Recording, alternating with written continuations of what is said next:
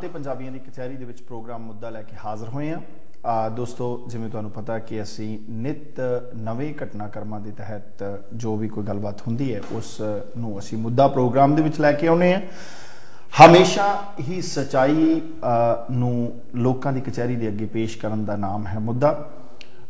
ਪਿਛਲੇ ਸਮਿਆਂ ਦੇ ਵਿੱਚ ਵੱਖ-ਵੱਖ ਘਟਨਾਕ੍ਰਮਾਂ ਦੇ ਉੱਤੇ ਮੁੱਦਾ ਪ੍ਰੋਗਰਾਮ ਪੇਸ਼ ਕੀਤੇ ਗਏ, ਪਰ ਅੱਜ ਦਾ ਇੱਕ ਵਿਸ਼ੇਸ਼ ਪ੍ਰੋਗਰਾਮ ਜਿਹੜਾ ਹੈ ਉਹ ਤੁਹਾਡੀ ਕਚਹਿਰੀ ਦੇ ਵਿੱਚ ਲੈ ਕੇ ਆਉਣਾ ਚਾਹੁੰਦੇ ਹਾਂ।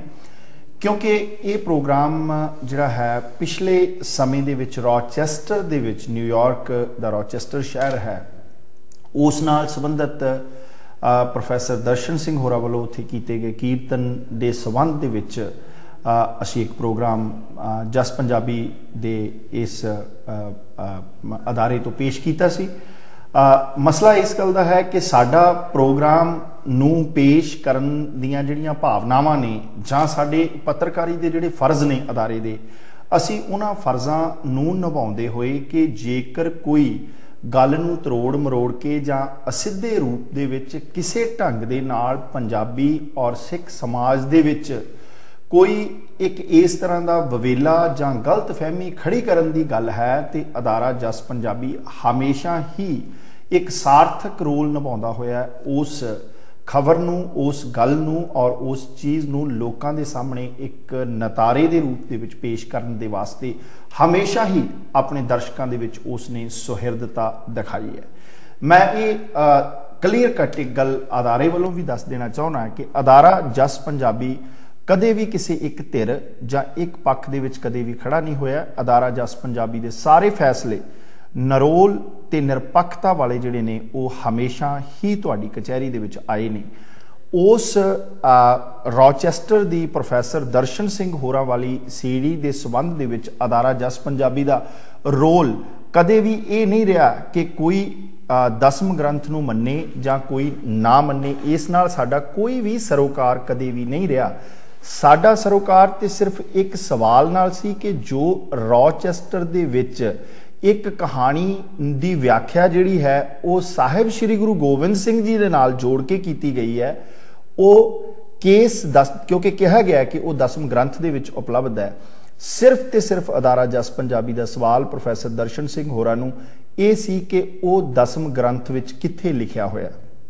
ਉਪਰੰਤ ਲੰਬਾ ਸਮਾਂ ਗੁਰਚਰਨਜੀਤ ਸਿੰਘ ਲਾਂਬਾ ਤੇ ਪ੍ਰੋਫੈਸਰ ਦਰਸ਼ਨ ਸਿੰਘ ਹੋਰਾਂ ਦੀ ਟੈਲੀਫੋਨ ਦੇ ਉੱਤੇ ਵਾਰਤਾ ਹੋਈ, ਕਿਉਂਕਿ ਪ੍ਰੋਫੈਸਰ ਸਾਹਿਬ ਭਾਰਤ ਦੇ ਵਿੱਚ ਸਨ, ਉਥੋਂ ਟੈਲੀਫੋਨ ਦੇ ਉੱਤੇ ਉਹਨਾਂ ਨੂੰ ਬਾਇਜ਼ਤ ਅਸੀਂ ਮਾਣ ਦਿੱਤਾ ਕਿ ਤੁਹਾਨੂੰ ਆਪਣੀ ਗੱਲ ਕਹਿਣ ਦਾ ਪੂਰਾ ਪੂਰਾ ਅਧਿਕਾਰ ਹੈ।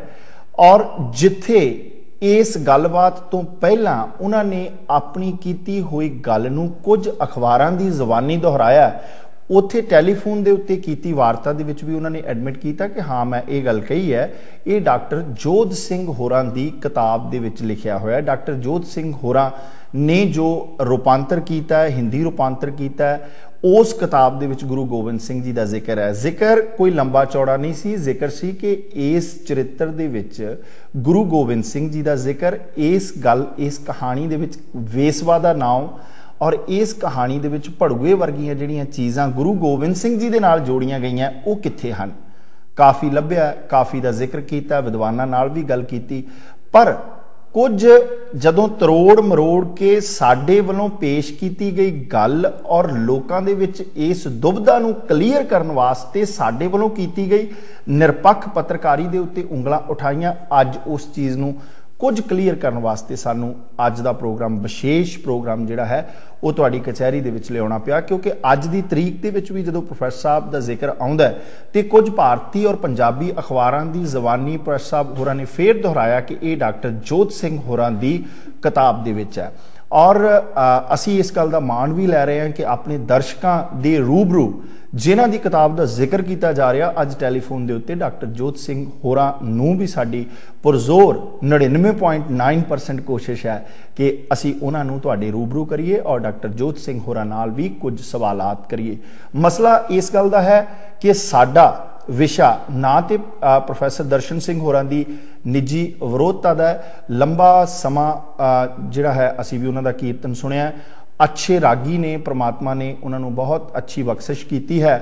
ਮਸਲਾ ਸਾਡਾ ਉਹਨਾਂ ਦੀ ਨਿੱਜੀ ਜ਼ਿੰਦਗੀ ਔਰ ਉਹਨਾਂ ਵੱਲੋਂ ਕੀਤੇ ਕੰਮਾਂ ਦਾ ਵਿਮੋਚਨ, ਸਿਫਤਾਂ ਜਾਂ ਵਿਰੋਧਤਾਵਾਂ ਕਰਨ ਦਾ ਨਹੀਂ।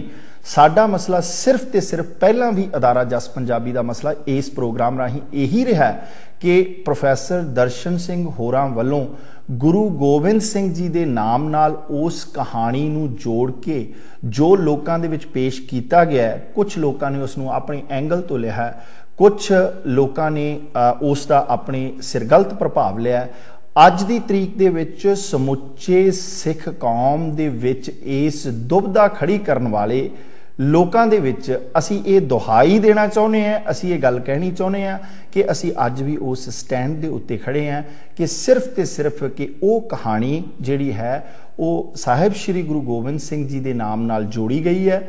ਔਰ ਉਹ ਪ੍ਰੋਫੈਸਰ ਸਾਹਿਬ ਉਹਨਾਂ ਨੇ ਅੰਸ਼ ਕਿੱਥੋਂ ਚੱਕੇ ਨੇ, ਜਾਂ ਕਿ ਵਿਆਖਿਆ ਦੇ ਵਿੱਚ ਇਹ ਉਹਨਾਂ ਦੀ ਆਪਣੀ ਵਿਚਾਰਧਾਰਾ ਹੈ।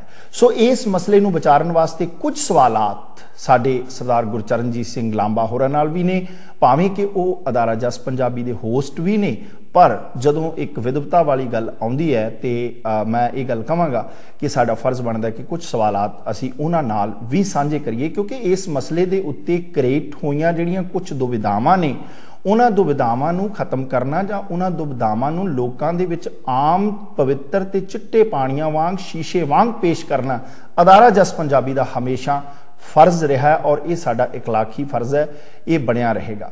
ਸੋ ਅੱਜ ਜਿੱਥੇ ਅਸੀਂ ਇਸ ਮਸਲੇ ਤੇ ਕੁਝ ਸਵਾਲਾਤ ਜਿਹੜੇ ਨੇ ਉਹ ਕਰਨ ਵਾਸਤੇ ਸਰਦਾਰ ਗੁਰਚਰਨਜੀਤ ਸਿੰਘ ਲਾਂਬਾ ਹੋਰਾਂ ਨੂੰ ਆਪਣੇ ਪ੍ਰੋਗਰਾਮ ਦੇ ਵਿੱਚ ਸ਼ਾਮਲ ਕੀਤਾ। ਮੈਂ ਸਰਦਾਰ ਲਾਂਬਾ ਜੀ ਹੋਰਾਂ ਦਾ ਤਹਿ ਦਿਲੋਂ ਸ਼ੁਕਰਗੁਜ਼ਾਰ ਹਾਂ ਕਿ ਉਹ ਸਾਡੇ ਪ੍ਰੋਗਰਾਮ ਚ ਆਏ। ਬਹੁਤ ਬਹੁਤ ਧੰਨਵਾਦ ਤੁਹਾਡਾ। ਇਸ ਪ੍ਰੋਗਰਾਮ ਦੇ ਵਿੱਚ ਅਗਰ ਅਸੀਂ ਕਲੈਰੀਫਾਈ ਕਰ ਸਕੀਏ ਕਿਉਂਕਿ ਗੱਲ ਤਾਂ ਬੜੀ ਸਿੱਧੀ ਔਰ ਸਪਸ਼ਟ ਸੀ ਕਿ ਬਹੁਤ ਛੋਟੀ ਜੀ ਗੱਲ ਹੈ ਕਿ ਜੇ ਕੋਈ ਲਫ਼ਜ਼ ਕਹੇ ਗਏ ਹੈ ਤੇ ਔਰ ਇਹਦੇ ਵਿੱਚ ਕੋਈ ਦੁਬਦਾ ਹੈ ਨਹੀਂ ਕਿ ਜਿਹੜੇ ਲਫ਼ਜ਼ ਕਹੇ ਪ੍ਰੋਫੈਸਰ ਸਾਹਿਬ ਨੇ ਕਿ ਹਾਂ ਉਹਨਾਂ ਨੇ ਕਿਹਾ ਕਿ ਗੁਰੂ ਗੋਬਿੰਦ ਸਿੰਘ ਸਾਹਿਬ ਇਦਾਂ ਸੋਚੀ ਪੈ ਗਏ ਜੀ। ਕਿ ਜੇ ਅਗਰ ਮੈਂ ਇਹ ਸੰਬੰਧ ਜੋੜਾਂਗਾ ਤੇ ਫਲਾਣੀ ਗੱਲ ਹੋਏਗੀ ਇਹ ਲਫ਼ਜ਼ ਬੜੇ ਹੀ ਸੁਣੇ ਨਹੀਂ ਜਾ ਸਕਦੇ। ਔਰ ਫਿਰ ਨਾਲ ਉਹਨਾਂ ਨੇ ਜਿਸ ਢੰਗ ਦੇ ਨਾਲ ਉਹ ਜਿਹੜੀ ਕਹਾਣੀ ਦੇ ਵਿੱਚ ਅਗਰ ਕੋਈ ਸਾਹਿਤ ਦੀ ਰਚਨਾ ਦੇ ਵਿੱਚ ਕਿਸੇ ਧਨੀ ਔਰਤ ਦਾ ਜ਼ਿਕਰ ਸੀ ਜੀ। ਉਹਨਾਂ ਨੇ ਉਸ ਨੂੰ ਵੇਸ਼ਿਆ ਜ਼ਿਕਰ ਬਣਾ ਕੇ ਕੀਤਾ। ਫਿਰ ਕੁਝ ਸ਼ਬਦਾਂ ਦੀ ਜਿਹੜੀ ਸਿੱਖ ਸ਼ਬਦ ਹੈ ਇਸ ਤਰ੍ਹਾਂ ਦੇ ਸਾਹਿਤ ਦੇ ਵਿੱਚ ਜਿਹੜੇ ਲਫ਼ਜ਼ ਹੈ ਉਹਨਾਂ ਦਾ ਵੀ ਅਰਥ ਹੋਰ ਕਰਨ ਦੀ ਕੋਸ਼ਿਸ਼ ਕੀਤੀ।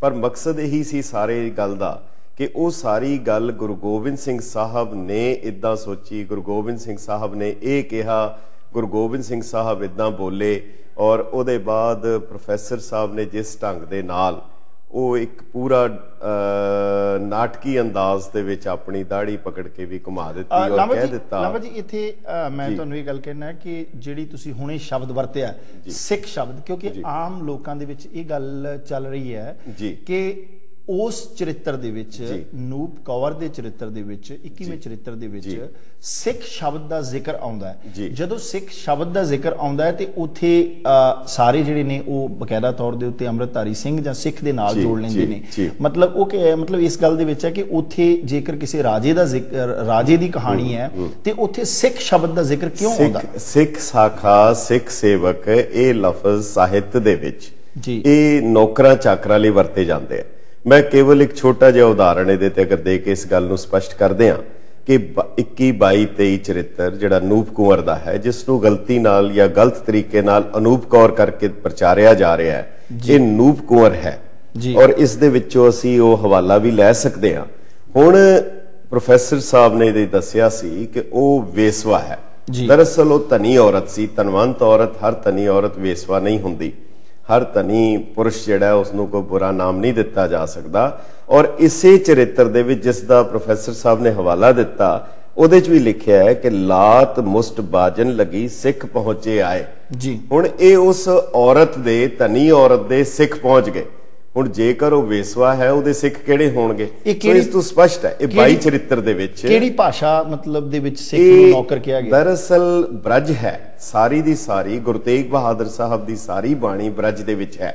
ਔਰ ਇਹ ਜਿਹੜੀ ਬ੍ਰਜ ਭਾਸ਼ਾ ਹੈ ਇਹਦਾ ਜ਼ਿਕਰ ਜਿਹੜਾ ਹੈ ਬ੍ਰਜ ਦੇ ਵਿੱਚ ਕੀਤਾ ਔਰ ਸਾਹਿਤ ਦੀ ਜਿਹੜੀ ਇੱਕ ਬੜੀ ਵਿਭਾ ਹੁੰਦੀ ਹੈ ਇਹਦੀਆਂ ਅਭਾਵਾਂ ਹੁੰਦੀਆਂ ਮੈਂ ਕੇਵਲ ਇੱਕ ਗੱਲ ਕਹਿਣੀ ਚਾਹਾਂਗਾ ਕਿ ਜਿਸ ਤਰ੍ਹਾਂ ਸਾਹਿਤ ਇੱਕ ਬੜਾ ਡੂੰਗਾ ਵਿਸ਼ਾ ਹੁੰਦਾ ਹੈ ਸਮੁੰਦਰ ਦੀ ਗਹਿਰਾਈ ਹੁੰਦੀ ਹੈ ਜਿਵੇਂ ਗੁਰੂ ਗੋਬਿੰਦ ਸਿੰਘ ਸਾਹਿਬ ਨੇ ਕਿਧਰੇ ਵੀ ਅਗਰ ਇੱਕ ਜਗ੍ਹਾ ਲਿਖਦੇ ਹੈ ਗੁਰੂ ਗੋਬਿੰਦ ਸਿੰਘ ਸਾਹਿਬ ਕਿ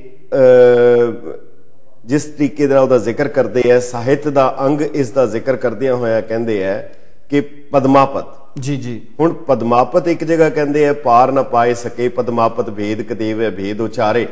ਤਾਂ ਇਹਦੇ ਵਿੱਚ ਜਿਹੜਾ ਹੈਗਾ ਪਦਮਾਪਤ ਵਿਸ਼ਨੂੰ ਹੈ ਪਰ ਨਾਲ ਹੀ ਕਿ ਹੈ ਪਦਮਾਪਤ ਜਿਹੜਾ ਹੈ ਕਾਹੇ ਕੋ ਦੌਲਤ ਹੈ? ਤੁਮਰੀ ਸੁੰਦਰ ਸ੍ਰੀ ਪਦਮਾਪਤ ਹੈ। ਤੁਹਾਡੇ ਨਾਲ ਤੁਹਾਡੇ ਨਾਲ ਸਵਾਲਾਤ ਕਰਨ ਤੋਂ ਪਹਿਲਾਂ ਮੇਰੇ ਨਾਲ ਲਾਈਨ ਦੇ ਉੱਤੇ ਜੁੜ ਚੁੱਕੇ ਨੇ ਡਾਕਟਰ ਜੋਤ ਸਿੰਘ ਹੋਰੀ। ਚਲੋ ਬੜੀ ਅੱਛੀ ਗੱਲ ਹੈ। ਮੈਂ ਉਹਨਾਂ ਨਾਲ ਕੁਝ ਸਵਾਲਾਤ ਜ਼ਰੂਰ ਕਰਨੇ ਚਾਹੁੰਦਾ। ਹੈਲੋ। ਹੈਲੋ। ਸਤਿ ਸ਼੍ਰੀ ਅਕਾਲ ਜੀ। ਸਭ ਤੋਂ ਪਹਿਲਾਂ ਡਾਕਟਰ ਜੋਤ ਸਿੰਘ ਜੀ ਅਦਾਰਾ ਜਸ ਪੰਜਾਬੀ ਵੱਲੋਂ ਤੁਹਾਨੂੰ ਨਿੱਘਾ ਵੈਲਕਮ। ਵਾਹਿਗੁਰੂ ਜੀ ਕਾ ਖਾਲਸਾ ਵਾਹਿਗੁਰੂ ਜੀ ਕੀ ਫਤਿਹ। ਵਾਹਿਗੁਰੂ ਜੀ ਕੀ ਫਤਿਹ ਜੀ। ਡਾਕਟਰ ਸਾਹਿਬ ਕੁਝ ਇੱਕ ਚੀਜ਼ਾਂ ਹੁੰਦੀਆਂ ਨੇ ਜਿਹੜੀਆਂ ਬਹੁਤ ਜ਼ਰੂਰੀ, ਕਲੀਅਰ ਕਰਨੀਆਂ ਹੁੰਦੀਆਂ ਨੇ। ਪਿੱਛੇ ਅਸੀਂ ਪ੍ਰੋਗਰਾਮ ਕੀਤਾ, ਸਾਨੂੰ ਪ੍ਰਾਪਤ ਹੋਈ, ਤੁਹਾਡੀ ਈਮੇਲ ਵੀ ਕਿਉਂਕਿ ਪ੍ਰੋਫੈਸਰ ਦਰਸ਼ਨ ਸਿੰਘ ਹੋਰਾਂ ਵੱਲੋਂ ਇਹ ਗੱਲ ਜਿਹੜੀ ਹੈ, ਦੁਹਰਾਈ ਜਾ ਰਹੀ ਹੈ ਕਿ ਜਿਹੜਾ ਉਹਨਾਂ ਨੇ ਉਸ ਕਹਾਣੀ ਨੂੰ 21ਵੇਂ ਚਰਿੱਤਰ ਨੂੰ ਸਾਹਿਬ ਸ੍ਰੀ ਗੁਰੂ ਗੋਬਿੰਦ ਸਿੰਘ ਜੀ ਹੋਰਾਂ ਦੇ ਨਾਲ ਜੋੜਿਆ ਜਾਂ ਗੱਲ ਕੀਤੀ ਹੈ ਉਹਨਾਂ ਨੇ ਪਹਿਲਾਂ ਕਿਹਾ ਸੀ ਕਿ ਇਹ ਦਸਮ ਗ੍ਰੰਥ ਵਿੱਚ ਲਿਖਿਆ ਹੋਇਆ, ਪਰ ਬਾਅਦ ਵਿੱਚ ਉਹਨਾਂ ਨੇ ਬੜੀ ਪ੍ਰੋੜਤਾ ਤੇ ਠੋਸ ਇਰਾਦੇ ਨਾਲ ਇਹ ਗੱਲ ਕਹੀ ਹੈ ਕਿ ਇਹ ਡਾਕਟਰ ਜੋਧ ਸਿੰਘ ਹੋਰਾਂ ਦੀ ਕਿਤਾਬ ਦੇ ਵਿੱਚ ਲਿਖੀ ਹੋਈ ਹੈ। ਕੀ ਮਤਲਬ ਕੁਝ ਇਸ ਤਰ੍ਹਾਂ ਦਾ ਹੈ? ਸਾਨੂੰ ਕਲੀਅਰ ਕਰੋ ਜ਼ਰੂਰ। ਨਹੀਂ ਦਰਸਲ ਲੋਕਾਂ ਦੀ ਇਮੋਸ਼ਨਸ ਦਾ ਮੈਂ ਸਮਝਦਾ ਵੀ ਭਾਵੁਕਤਾ ਦਾ ਨਜਾਇਜ਼ ਫਾਇਦਾ ਹੈ। ਜੀ। ਜੇ ਅਸੀਂ ਇਸ ਤਰੀਕੇ ਦੇ ਨਾਲ ਜੋੜ ਕੇ ਤੇ ਆਪਣੀ ਵਾਹਵਾਹੀ ਲੁੱਟੀਏ ਜੀ ਜੀ। ਦਰਸਲ ਇਹ ਕੋਈ ਇਦਾਂ ਦੀ ਗੱਲ ਹੈ ਨਹੀਂ ਕੋਈ ਇਤਿਹਾਸਕ ਵਾਰਤਾ ਨਹੀਂ ਹੈ। ਜੀ। ਇਹ ਤੇ ਮੰਤਰੀ ਭੂਪ ਸੰਵਾਦੇ ਜਿਹੜਾ ਉਹਦੇ ਚਰਿਤਰਾਂ 'ਚ ਲਿਖਿਆ ਸਭ ਜਗ੍ਹਾ ਹੀ ਇਹ ਮੰਤਰੀ ਤੇ ਰਾਜਾ ਦੀ ਆਪਸੀ ਸੰਵਾਦ ਹੈ ਜਿਹੜਾ ਜੀ। ਉਹ ਕਹਾਣੀ ਦੇ ਰੂਪ ਵਿੱਚ ਸੁਣਾ ਰਿਹਾ ਹੈ। ਜੀ। ਇਹ ਤਾਂ ਗੁਰੂ ਗੋਬਿੰਦ ਸਿੰਘ ਸਾਹਿਬ ਦਾ ਦੀ ਲਾਈਫ ਨਾਲ ਸੰਬੰਧਿਤ ਜਾਂ ਕੋਈ ਇਸ ਤਰ੍ਹਾਂ ਦੀ ਗੱਲ ਇਹਦੇ 'ਚ ਹੈ ਹੀ ਨਹੀਂ ਕਿਤੇ ਵੀ। ਜੀ ਜੀ ਜੀ ਜੀ ਜੀ। ਮੈਨੂੰ ਇਹ ਪਤਾ ਲੱਗਾ ਸੀ ਵੀ ਉਹਨਾਂ ਨੇ ਮੇਰਾ ਨਾਮ ਲਿਆ ਹੈ। ਜੀ। ਤੇ ਡਾਕਟਰ ਜੋਤ ਸਿੰਘ ਦਾ ਜਿਹੜਾ ਟ੍ਰਾਂਸਲੇਸ਼ਨ ਕੀਤਾ ਹੋਇਆ ਹੈ ਹਿੰਦੀ ਦੇ ਵਿੱਚ ਜੀ ਜੀ। ਉਹਦੇ ਵਿੱਚ ਉਹਨਾਂ ਨੇ ਲਿਖਿਆ ਹੈ। ਜੀ ਉਹਨਾਂ ਨੇ ਪਿਛਲੇ ਆਈ ਵਾਸ ਸ਼ੌਕ ਟੂ ਨੋ ਕਿ ਕਮਾਲ ਹੈ। ਜੀ ਜੀ। ਉਹਦੇ ਵਿੱਚ ਕਿਤੇ ਵੀ ਨਾ ਮੂਲ ਵਿੱਚ ਠੀਕ ਹੈ। ਨਾ ਮੇਰੇ ਅਨੁਵਾਦ ਵਿੱਚ। ਠੀਕ ਹੈ ਜੀ। ਗੁਰੂ ਗੋਬਿੰਦ ਸਿੰਘ ਸਾਹਿਬ ਦਾ ਨਾਂ ਹੀ ਨਹੀਂ ਹੈ ਕਿਤੇ ਵੀ। ਆਪਣੇ ਡਾਕਟਰ ਸਾਹਿਬ ਡਾਕਟਰ ਸਾਹਿਬ ਇੱਕ ਇੱਕ ਹੋਰ ਮੇਰਾ ਸਵਾਲ ਹੈ ਤੁਹਾਡੇ ਨਾਲ ਕਿਉਂਕਿ ਕੁਝ ਇੱਥੇ ਸਥਾਨਕ ਅਖਬਾਰਾਂ ਨੇ ਵੀ ਮਤਲਬ ਉਹਨਾਂ ਦੀ ਇੰਟਰਵਿਊ ਲੈ ਕੇ ਔਰ ਉਹਨਾਂ ਦੀ ਇੰਟਰਵਿਊ ਲੈ ਕੇ ਜਦੋਂ ਇਹ ਗੱਲ ਕੀਤੀ ਤੇ ਉਹਨਾਂ ਨੇ ਇਹੀ ਕਿਹਾ ਕਿ ਇਹ ਡਾਕਟਰ ਜੋਧ ਸਿੰਘ ਹੋਰਾਂ ਦੀ ਕਿਤਾਬ ਦੇ ਵਿੱਚ ਬਕਾਇਦਾ ਤੌਰ ਦੇ ਉੱਤੇ ਲਿਖਿਆ ਹੋਇਆ ਹੈ। ਨਹੀਂ ਉਹ ਬਿਲਕੁਲ ਝੂਠ ਹੈ ਉਹ ਇਦਾਂ ਦੀ ਕੋਈ ਗੱਲ ਨਹੀਂ ਹੈਗੀ। ਜੀ। ਔਰ 21ਵੇਂ 22ਵੇਂ 23ਵੇਂ ਬਲਕਿ ਉਹਨੂੰ ਮੈਂ ਫੋਟੋ ਕਾਪੀ ਕਰਕੇ ਕਈ ਲੋਕਾਂ ਨੂੰ ਦਿੱਤਾ ਵੀ ਹੈ। ਜੀ ਜੀ ਜੀ। ਭਾਈ ਇਹਦੇ ਵਿੱਚ ਗੁਰੂ ਗੋਬਿੰਦ ਸਿੰਘ ਸਾਹਿਬ ਦਾ ਨਾਮ ਕਿੱਥੇ ਹੈ ਦੱਸਿਆ ਜਾਵੇ। ਬਿਲਕੁਲ ਜੀ ਅਸੀਂ ਵੀ ਇਹ ਸਵਾਲ ਕੀਤਾ ਸੀ ਇੱਥੇ ਵੀ। ਡਾਕਟਰ ਸਾਹਿਬ ਜਦੋਂ ਅਸੀਂ ਪ੍ਰੋਗਰਾਮ ਕੀਤਾ ਸੀ ਪ੍ਰੋਫੈਸਰ ਸਾਹਿਬ ਨੂੰ ਟੈਲੀਫੋਨ ਦੇ ਉੱਤੇ ਲਿਆ ਉਹਨਾਂ ਦੇ ਕੁਝ ਹਮਾਇਤੀ ਸੱਜਣਾ ਨੇ ਸਾਨੂੰ ਪੇਪਰ ਵੀ ਦਿੱਤੇ ਤੇ ਮਤਲਬ ਜੋ ਉਹਨਾਂ ਨੇ ਕਿਹਾ ਅਸੀਂ ਪੜਿਆ ਪਰ ਫਿਰ ਵੀ ਉਹ ਕਹਿ ਰਹੇ ਸੀ ਕਿ ਇਹਦੇ ਵਿੱਚੋਂ ਲੱਭੋ ਡਾਕਟਰ ਜੋਤ ਸਿੰਘ ਹੋਰਾਂ ਨੇ ਕਿਧਰੇ ਨਾ ਕਿਧਰੇ ਇੱਥੇ ਲਿਖਿਆ ਹੋਇਆ ਹੈ। ਕਮਾਲ ਹੈ ਕਿਤੇ ਨਾ ਕਿਧਰੇ ਜ਼ਬਰਦਸਤੀ ਲਿਖਿਆ ਹੋਇਆ ਉਹ ਕਿਵੇਂ 22ਵੇਂ ਔਰ 23ਵੇਂ ਚਰਿੱਤਰ ਦੀ ਉਹ ਗੱਲ ਕਰ ਰਹੇ ਨੇ ਜੀ। ਤੇ ਉਹਦੇ ਚ ਕਿਤੇ ਨਾ ਕਿਤੇ ਕੀ ਸਿੱਧਾ ਹੀ ਕੱਢ ਕੇ ਵੇਖਣ ਰਾਈਟ ਉਹਦੇ ਚ ਮਤਲਬ ਕੀ ਦਿੱਕਤ ਹੈ? ਉਹਦੇ ਚ ਰੌਲਾ ਹੀ ਕੋਈ ਨਹੀਂ ਹੈ। ਦਰਅਸਲ ਇਹ ਫੋਕਲੋਰ ਦੇ ਵਿੱਚ ਕਹਾਣੀਆਂ ਨੇ ਜਿਹੜੀਆਂ ਸਾਡੇ ਕੋਲ ਜਾਂ ਮਤਲਬ ਅਲਫ ਲੈਲਾ ਦੇ ਕਿੱਸੇ ਨੇ ਪੰਚਤੰਤਰ ਦੇ ਵਿੱਚ ਨੇ ਇਤੋਪਦੇਸ਼ ਦੇ ਵਿੱਚ ਨੇ ਜੀ। ਪੈਦਾਲ ਪਚੀਸੀ ਦੇ ਵਿੱਚ ਨੇ ਉਹਨਾਂ ਕਹਾਣੀਆਂ ਨੂੰ ਆਧਾਰ ਰੱਖ ਕੇ ਤੇ ਆਪਣੇ ਫਾਲੋਅਰਸ ਨੂੰ ਸਮਝਾਉਣ ਵਾਸਤੇ ਜੀ। ਗੁਰੂ ਸਾਹਿਬ ਨੇ ਕਹਾਣੀਆਂ ਇਕੱਤਰ ਕੀਤੀਆਂ ਨੇ। ਜੀ ਜੀ ਜੀ। ਡਾਕਟਰ ਸਾਹਿਬ ਗੱਲ ਹੋਰ ਹੈ ਨਾ ਇੱਕ ਇੱਕ ਗੱਲ ਹੋਰ ਹੈ। ਜੀ। ਇਹ ਤੁਸੀਂ ਦੇਖੋ ਜਦੋਂ ਬਚਿੱਤਰ ਨਾਟਕ ਦੇ ਵਿੱਚ ਉਹ ਕਹਿ ਰਹੇ ਨੇ ਕਿ ਅਬ ਮੈਂ ਆਪਣੀ ਕਥਾ ਬਖਾਨੋ ਜੀ। ਉੱਥੇ ਉਹ ਫਸਟ ਪਰਸਨ ਦੇ ਵਿੱਚ ਕਹਿ ਰਹੇ ਨੇ ਕਿ ਮੇਰੀ ਹੁਣ ਆਪਣੀ ਮੇਰੀ ਗੱਲ ਸੁਣੋ ਤੁਸੀਂ ਮੈਂ ਜੋ ਕਹਿ ਰਿਹਾ। ਜੀ। ਇੱਥੇ ਕਿਤੇ ਵੀ ਕਹਾਣੀ ਫਸਟ ਪਰਸਨ 'ਚ ਹੈ ਹੀ ਨਹੀਂ ਇਹ ਥਰਡ ਪਰਸਨ ਵਿੱਚ ਕਹਾਣੀਆਂ ਨੇ। ਮਤਲਬ ਰੀਟੋਲਡ ਸਟੋਰੀਜ਼ ਨੇ ਕਿਸੇ ਵੱਲੋਂ ਕਈਆਂ ਹੋਈਆਂ ਕਹਾਣੀਆਂ ਜਿਹੜੀਆਂ ਉਹ ਅੱਗੇ ਐਕਸਪਲੇਨ ਕੀਤੀਆਂ ਗਈਆਂ। ਉਹ ਅੱਗੇ ਐਕਸਪਲੇਨ ਕੀਤੀਆਂ ਨੇ ਔਰ ਇਸ ਕਰਕੇ ਕੀਤੀਆਂ ਨੇ ਕਿ ਸਮਾਜ ਨੂੰ ਥੋੜਾ ਸਿੱਖਿਅਤ ਕੀਤਾ ਜਾ ਸਕੇ ਕਿ ਭਾਈ ਇਹੋ ਜਿਹੇ ਧੋਖਿਆਂ ਦੇ ਵਿੱਚ ਫਸਣਾ ਨਹੀਂ ਜੇ ਤੁਸੀਂ। ਜੀ ਜੀ ਜੀ ਜੀ ਇਸੇ ਦੇ ਵਿੱਚ ਹੀ ਤੇ ਉਹ ਹੈ ਕਿ ਨਿਜ ਨਾਰੀ ਕੇ ਸੰਗ ਨੇ ਤੁਮ ਨਿਤ ਬੜਈਓ ਪਰ ਨਾਰੀ ਕੀ ਸੇਜ ਭੂਲ ਸੁਪਨੇ ਨਾ ਜਾਈਓ। ਜਿਹੜੀ ਤੁਹਾਡੀ ਬੱਜਰ ਕੁਰਹਿਤ ਹੈ ਜੀ ਜੀ। ਯਾਨੀ ਉਹ ਵੀ ਮੈਂ ਸਮਝਦਾ ਵੀ ਇਹਦੇ ਵਿੱਚੋਂ ਇਹ ਮਰਜ ਹੋ ਰਹੀ ਹੈ। ਜੀ। ਅੱਜ ਕੌਮ ਨੇ ਸਿੱਖ ਕੌਮ ਨੇ ਉਹਨੂੰ ਅਪਣਾਇਆ ਹੈ ਜਿਹੜਾ ਰਹਿਤ ਮਰਿਆਦਾ ਦੇ ਵਿੱਚ। ਜੀ। ਤੇ ਇਹ ਰਚਨਾ ਨੂੰ ਉਸ ਤਰੀਕੇ ਨਾਲ ਦੇਖਣਾ ਚਾਹੀਦਾ ਹੈ, ਨਾ ਕਿ ਇਹਦੇ ਵਿੱਚੋਂ ਕੋਈ ਮਜ਼ਾ ਲੈਣ ਵਾਸਤੇ ਜਾਂ ਇਹਦੇ ਵਿੱਚੋਂ ਕੋਈ ਖਾਸ ਕਿਸੇ ਨੂੰ ਬਦਨਾਮ ਕਰਨ ਵਾਸਤੇ ਗੱਲ ਕਰਨੀ ਚਾਹੀਦੀ ਮੈਨੂੰ ਤੇ ਲੱਗਦਾ ਇਹ ਠੀਕ ਨਹੀਂ ਹੈ। ਰਾਈਟ ਸਾਡੇ ਜਥੇਦਾਰ ਰਹੇ ਨੇ ਮੈਂ ਤੇ ਹੈਰਾਨ ਹਾਂ ਮੈਂ ਤੇ ਬੜਾ ਸਤਿਕਾਰ ਕਰਦਾ ਹਰ ਜਥੇਦਾਰ ਦਾ। ਜੀ। ਲੇਕਿਨ ਇੰਨੀ ਹਲਕੀ ਗੱਲ ਉਹ ਕਰਨਗੇ ਇਹ ਮਤਲਬ ਮੈਨੂੰ ਉਮੀਦ ਨਹੀਂ। ਡਾਕਟਰ ਸਾਹਿਬ ਇੱਕ ਸਵਾਲ ਤੁਹਾਡੇ ਨਾਲ ਹੋਰ ਹੈ ਕਿ ਉਸ ਤੁਹਾਡੇ ਅਨੁਵਾਦਿਤ ਕੀਤੀ ਹੋਈ ਉਸ ਪੁਸਤਕ ਦੇ ਵਿੱਚ ਉਸ ਇੱਕਵੇਂ ਚਰਿੱਤਰ ਦੇ ਵਿੱਚ ਵੇਸਵਾ ਤੇ ਭੜੂਆ ਨਾਂ ਦਾ ਵੀ ਕੋਈ ਜ਼ਿਕਰ ਇਸ ਤਰ੍ਹਾਂ ਦਾ ਆਉਂਦਾ? ਕੋਈ ਜ਼ਿਕਰ ਨਹੀਂ ਹੈ ਜੀ ਕੋਈ ਇਹੋ ਜੀ ਗੱਲ ਹੀ ਨਹੀਂ ਹੈਗੀ। ਵੇਸਵਾ ਦਾ ਉੱਤੇ ਕੋਈ ਜ਼ਿਕਰ ਹੀ ਨਹੀਂ ਹੈ ਔਰ ਉਹ ਜਿਹੜਾ 21ਵਾਂ ਚਰਿੱਤਰ ਹੈ ਜੀ ਜੀ। ਉਹਦੇ ਵਿੱਚ ਤੇ ਦਰਅਸਲ ਉਹਨਾਂ ਨੇ ਇਹ ਲਿਖਿਆ ਵੀ ਇੱਕ ਇੱਕ ਪ੍ਰਿਆ ਧਨਵੰਤ ਕੀ ਟੌਨ ਨਗਰ ਮੇ ਆਨ। ਜੀ। ਇੱਕ ਧਨਵਾਨ ਇਸਤਰੀ ਉਸ ਨਗਰ ਦੇ ਵਿੱਚ ਆਈ ਹੈ। ਜੀ। ਤੇ ਰਾਏ ਜਿਹੜਾ ਸੀ ਯਾਨੀ ਚੌਧਰੀ ਜਿਹੜਾ ਸੀ ਉੱਥੋਂ ਦਾ ਜਾਂ ਰਾਜਾ ਜਿਹਨੂੰ ਅਸੀਂ ਕਹਿੰਦੇ ਆ ਜੀ। ਉਹਨੂੰ ਵੇਖ ਕੇ ਉਹ ਮਤਲਬ ਉਹਦੇ ਤੇ ਮੋਹਿਤ ਹੋ ਜਾਂਦੀ ਹੈ। ਰਾਈਟ ਇਹ ਧਨਵਾਨ ਔਰਤ ਦੀ ਗੱਲ ਹੈ ਬਾਕੀ ਇਹਦੇ 'ਚ ਕੋਈ ਵੇਸਵਾ ਵਾਲੀ ਗੱਲ ਵੀ ਨਹੀਂ ਹੈਗੀ। ਜੀ ਜੀ। ਉਹ ਔਰਤ ਜ਼ਰੂਰ ਉਹਨੂੰ ਮਤਲਬ ਕਿਸੇ ਤਰੀਕੇ ਨਾਲ ਉਸ ਚੌਧਰੀ ਨੂੰ ਬੁਲਾਉਂਦੀ ਹੈ ਜੀ। ਉਸ ਰਾਏ ਨੂੰ ਬੁਲਾਉਂਦੀ ਹੈ ਤੇ ਉੱਥੇ ਉਹਨੂੰ ਆਪਣੇ ਨਾਲ ਭੋਗ ਕਰਨ ਦੇ ਵਾਸਤੇ ਮਤਲਬ ਉਕਸਾਉਂਦੀ ਹੈ। ਜੀ। ਲੇਕਿਨ ਉਹ ਕੋਈ ਇਹੋ ਜੀ ਗੱਲ ਹੀ ਨਹੀਂ ਹੁੰਦੀ ਉਹ ਚੌਧਰੀ ਜਿਹੜਾ ਹੈ ਉਹ ਕਹਿੰਦਾ ਵੀ ਮੈਂ ਤੇ ਸਾਰਿਆਂ ਦਾ ਤੁਹਾਡਾ ਪਾਲਣ ਕਰਨ ਵਾਲਾ ਹਾਂ ਇੱਕ ਤਰ੍ਹਾਂ ਨਾਲ ਤੁਹਾਡਾ ਦੁੱਖ ਸੁੱਖ ਦੇਖਣ ਵਾਲਾ ਹਾਂ। ਜੀ। ਤੇ ਮੈਂ ਇਹ ਕੰਮ ਕਿਸ ਤਰ੍ਹਾਂ ਕਰ ਸਕਦਾ ਬਲਕਿ ਉਹ ਵੀ ਇਹ ਵੀ ਕਹਿੰਦਾ ਹੈ ਮਾਨੀ ਮਾਨ। ਜੀ। ਵੀ ਭਗਵਤੀ ਦੀ ਜੇ ਇਹਨੇ ਮੈਨੂੰ ਭਗਵਤੀ ਦੀ ਭਗਵਤੀ ਦੇਵੀ ਦੀ ਜੇ ਇਹਨੇ ਮੈਨੂੰ ਸਹੁੰ ਚੁੱਕ ਦੇ ਦਿੱਤੀ ਜੀ। ਤੇ ਫੇਰ ਪਤਾ ਨਹੀਂ ਮੈਨੂੰ ਕੀ ਕਰਨਾ ਪਵੇ ਇਹਦੇ ਨਾਲ। ਜੀ ਜੀ ਜੀ। ਮਤਲਬ ਇਹ ਹੈ ਵੀ ਜੇ ਉਸ ਰਾਏ ਨੂੰ ਜਾਂ ਜੇ ਉਸ ਰਾਜਾ ਨੂੰ ਇਹ ਗੁਰੂ ਗੋਬਿੰਦ ਸਿੰਘ ਮੰਨ ਰਿਹਾ ਹੈ ਜੀ। ਕਿ ਨਾਲ ਹੀ ਨਾਲ ਇਹ ਮੰਨਿਆ ਜਾ ਰਿਹਾ ਵੀ ਗੁਰੂ ਗੋਬਿੰਦ ਸਿੰਘ ਭਗਵਤੀ ਦੇ ਉਪਾਸਕ ਸਨ। ਰਾਈਟ ਜਿਹੜਾ ਕਿ ਨਾ ਉਹਨਾਂ ਦੇ ਕਿਤੇ ਵੀ ਮਤਲਬ ਲਾਈਫ ਸਟਾਈਲ ਦੇ ਵਿੱਚ ਵੀ ਇਦਾਂ ਦੀ ਗੱਲ ਨਹੀਂ ਆਉਂਦੀ। ਰਾਈਟ ਰਾਈਟ ਨਾ ਹੀ ਰਾਈਟ ਉਹਨਾਂ ਨੇ ਕੋਈ ਇਸ ਤਰ੍ਹਾਂ ਦੀ ਗੱਲ ਕੀਤੀ ਹੈ। ਰਾਈਟ ਤੇ ਮਤਲਬ ਦੇਖੋ ਇਹ ਕਹਾਣੀਆਂ ਜਿਹੜੀਆਂ ਨੇ ਇਹਨਾਂ ਦਾ ਪਰਪਸ ਜਿਹੜਾ ਹੈ ਉਹ ਹੋਰ ਹੈ ਤੇ ਇਹ ਗੁਰੂ ਸਾਹਿਬ ਤੇ ਟੁਕਾ ਕੇ ਐਵੇਂ ਸਸਤੀ ਜਿਹੜੀ ਸ਼ੋਹਰਤ ਲੁੱਟਣ ਦੀ ਗੱਲ ਹੈ ਨਾ। ਜੀ ਜੀ ਜੀ ਵੈਸੇ ਜੀ ਮਾਫ ਕਰਨਾ ਮੈਨੂੰ ਤੇ ਇਹ ਬੜੀ ਹੈਰਾਨਗੀ ਦੀ ਗੱਲ ਹੈ ਵੀ ਇਹਨਾਂ ਦੇ ਸੈਂਕੜੇ ਕੈਸੇਟ ਬਣੇ ਹੋਣਗੇ। ਜੀ ਜੀ। ਔਰ ਉਹ ਪਹਿਲਾਂ ਮਤਲਬ ਇਹਨਾਂ ਦੇ ਵਿੱਚੋਂ ਹੀ ਸ਼ਬਦ ਗਾ ਗਾ ਕੇ ਤੇ ਪੈਸੇ ਕਮਾਉਂਦੇ ਰਹੇ ਨੇ।